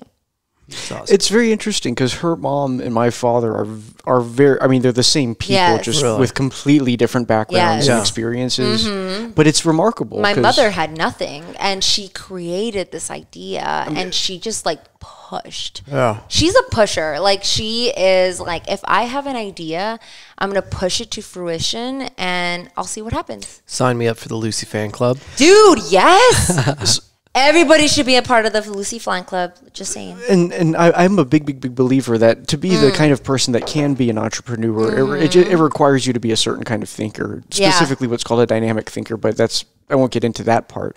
I think we should. We can. oh well we, We can, can. to some point to some point Okay, the But- long, the short of a dynamic no, no, thinker is no, no, that their brain has is, is able to make connections that the uh, typical brain cannot. yes Yeah. Um, so so find find patterns and, and and things that other people don't see patterns in. But um, oh shit, where was I going with that? uh with mom and doing her uh Oh, so so one thing, people who are able to be entrepreneurs, I'm a big th- believer that if if if you are built that way, if you're not doing that, if you are the kind of person that can be an entrepreneur and you're not, It drives you nuts. you are going to have depression and anxiety. Yes. In the same way that if you're a musician, Yes. if you're if your brain is if you are the kind of Yes. Mm-hmm. person that can produce music and you're not doing that, you're going to have a bad time. Mm-hmm. So there are certain things. I mean, we have a number of patients where both of us we we see what the problem is. They're working for someone else. Someone else is telling them what to think and what to do. They're smart enough to know that those things don't work for them, but they're not yet brave enough to branch off and do things on their own because society has kind of told them to sacrifice freedom for security. I am 100% living all of that right now. Okay. Okay, Here we go. We're here. We need to turn this into a therapy session. I told my friend, I was like, I'm going to see my we do therapist. No, but I will just say this, just just to support what you're saying. Um, Yeah. I had my own business for three and a half years. Sure. And, um, it got to be too much. Shut it Mm. down. Went and got myself an hourly job, and then through a series of weird events, I ended up in Austin uh, as, as as a manager in a salaried position, whatever. But like you're saying, and I'm fine with it. It's not Mm. that I'm super anxious about it or whatever, but I do feel it. You know, I I- Totally. Absolutely. so many things that I I just I need to be like, we got to do it like this. Right. I understand. Yeah. I get it. I know this is your business, whatever, but uh, you know. Yes. no, you're. So and- I, I and like that. Like I, I like the nonverbal experience right there because it's like yes, all of that. Yes. Dude, it's it's hard though. It's It hard. is. It's It super is. difficult. It is. and and it it does drive one nuts. But Totally. you know, it is what it is, and you also have to be very grateful for a position like what I've got. sure, sure. because whenever everything went to shit and I decided to close down the business for multiple reasons, mm-hmm. somewhere along the way, I, I was I was I was granted this opportunity to work for this company. So I, I check my bullshit every time that comes up. Like this is not your business. You Sure. you you can handle it as if it were your business until the one that really owns it steps in and says, We're not going to do it that way. Then you have to default. Right. And and and, and so uh, one of the reasons they brought me along, I think, is because they know from experience watching me and having worked with me in the past that I'm going to treat your business as if it was mine. And that's that's Mm. You're something gonna deliver. you can't buy that. You cannot find people like that Absolutely that don't not. exist. Yeah. And I think you have to find somebody in my exact weird circumstance. Ran my own business, did pretty good, shut it all down because it wasn't for me, and now I'm an hourly guy. I mean, I'm salaried, but you know, I'm working for somebody else. Yeah. But, But- that's not the focus. It's it's about like being able to do the job as effectively as you can and and following what feels really good to you. Yeah. You know what I mean? Cuz I feel like to do work like and me and oh hi Luigi. Did I off rail you? I was trying to compliment Luigi. your story, and I feel like I just Oh, stole the whole I'm thing. No, not at all. I know, dude. Oh. What, what you were saying is totally. I mean, I, Hi Luigi. I, I, I do like to remind. Um, I, I do like to. Uh, I do want to highlight that that you know Hawk isn't. Uh, It's Jana Yes. and ours first business Yes. venture, but it not my first business venture, and I've actually had a number of failures leading up to You this. have to. You have to. Yes. Have to. Absolutely. I- you have I- to take a chance, I you have to take a risk. You have to fail. And I tell, Absolutely, like a I- relationship. And I tell, I, well, I tell people, well, and to that end, I tell people there are a certain number of things you can get wrong an infinite number of times as long as you get it right once. Yeah. Um, and I also say that the people with the most failures and the best successes tend to be the same people. So, I mean, if you, if you are the kind of person where the, your very first shot at running a business, it's totally successful and it takes off, like to me, that's very atypical. I don't think it's possible, is it? I mean, there might be a few I'm stories some out people- there. I, I, I think it's more unlikely than it is likely. The best stories are like you're talking about absolute, horrible, beautiful failures. Beautiful failures. Yeah, but, but you know what? If you think- spectacular If you think about it, That cost a let me lot just- of money to Let learn. me just put it out there. But like all of the, your biggest failures, the ones that you really, really remembered, has that led you to a higher level of self? Yeah, that's Think the, about it. that's the, the it has. Absolutely. And so Because we ha- we have to go through really discomfort and uncomfortable moments in our lives and our growing to be able to get to the really really yummy stuff. And I feel like I'm finally starting to move in the right direction. I don't have all the answers. I'm not Wonderful. a perfect person, but I feel like the the shit I went through in the past five years has Mm. pushed me into the melting pot. Are we? Are we? High five. and that that goes back to kind of what we were saying a few minutes ago, which is just the unfortunate reality that Yeah. you have to experience meaningful adversity to gain meaningful. and it's not the uh, what is what did you call it? Like the unfortunate what unfortunate what? huh? Uh, you mentioned something earlier. Are you talking about the hard men? No, no, no, no, no, no. Well, like he was like, oh, the unfortunate experience of having to go through adversity. It's like, nah, it's not unfortunate. It's Yeah. actually like, oh, yes. But it's unfortunate I'm that going that's how through you. discomfort. That's how you because gain that this knowledge. is where That's it's how going to take me. yeah. And we were kind of talking about this, I think, during our last podcast. Even, even, um, and I, I, I'm pretty sure I mentioned this last time, that even your immune system, if Oh, it, yeah. if it We isn't fighting For real. something, it will start fighting itself. Yeah. Autoimmune disorders is when your immune system is too strong. I'm not bored. too Let's weak. fuck some shit up. Yeah. Well, everybody, Chaos. every one one thing in nature is everything needs a dragon to slay. Yeah. And if there isn't, if there Ooh. isn't one, it, it it'll make just one. boomerang onto Yeah. itself. Mm-hmm. And that's that's the unfortunate. Re- I mean, we talk a lot about having. I mean, we're, we'll have kids one day, and it's like. It sucks to know that we have to let our kid like experience pain and struggle It- because the of absence of those things is what makes soft and ineffectual people who will struggle even greater later on down the line. so it's that. it's something We- in we the don't want process. soft kids. We Yeah, no, no, no. It's something in the process. Like we're not trying to be light about it Get some little because, like, especially coming from our own experiences, like we definitely want to raise a well-rounded human being. But you know what? Will that be perfect? Absolutely fucking not. Might turn out to be a little Jeffrey Dahmer. That's okay. You got to you love know him what? anyway. I think as I don't long think as he we don't- will. I think he's. Too, I Based like. on I'm what- very emotional. Like I think he's gonna get. Based on he's what gonna we've get it for learned me. about serial killers, as long as we don't aggressively physically yes. abuse our kid yes. for an No. extended period And of don't, time, we don't should be expose okay. him to opportunities to kill animals or Oh, yeah. or humans Right. or whatever. Like it's you know I, I'm sure we will be a okay, but like at the same time, like we want to ensure that we our are in a really good space with ourselves internally because like that is ultimately what you need to create a, a foundational point of like the happiest life You guys are in tune with your shit. This kid is going to grow Oh. up walking on water. It's, it's going to be great. god i hope so yeah, It's going to be wonderful. Jeffrey, uh, the uh, the thing about animals and, and sure all yeah that made me think of a uh, um, an acquaintance of mine Hmm. that was just telling me what cornholing is. Have oh, ever- you oh, we actually have a cornhole thing. Nope, nope, it's not that. He's a hunter, right? oh Shoots a buffalo. Buffaloes weigh 2,000 pounds. Sure. Can you pick up 2,000 pounds and walk it out over uneven terrain? Um, not by myself, I don't think. I've, Admittedly, I've never tried. Part of the process is you gotta you gotta get the weight down. You Gotta get. Okay. So you remove Oh, some of the stuff Through so the- that it's a little lighter. I got you. So cornholing, you cut around the butthole I see. uh-huh, with a really sharp knife. You gotta be careful. You don't want to nick anything. Sure. Well, everything from your butthole to your mouth is a big sock, and you just pull it all out. The whole and that's thing. and that's called cornholing. cornholing. Yeah. Oh. Well, I, I I I was not familiar with that definition of cornholing. So she's talking about you know being mean to animals or whatever. I'm like, I bet you know little five year old uh, Jeffrey Dahmer might have seen something like that or or performed something like that or on his own. perform something like that. Let me say hello to our Ariel. Let's shut this down. Okay. Let's go ahead. Um, hi.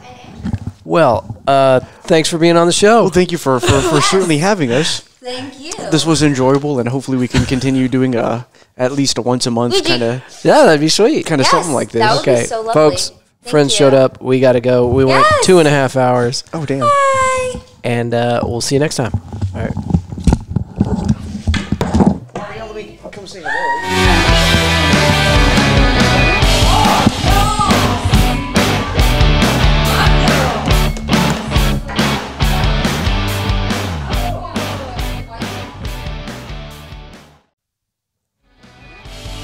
Another big thank you to Andrew and Jana Greene of Hawk Therapy. You can find their material at hawktherapyatx.com. And it'll be in the show notes, so you can look at that there. Um, thank y'all for being here. Uh, it's always a pleasure to have Andrew and Jana on, and we're going to have them on very soon again. So look forward to that. Hope y'all are having a wonderful day. Thank you for tuning in, and I'll see you next week. Bye.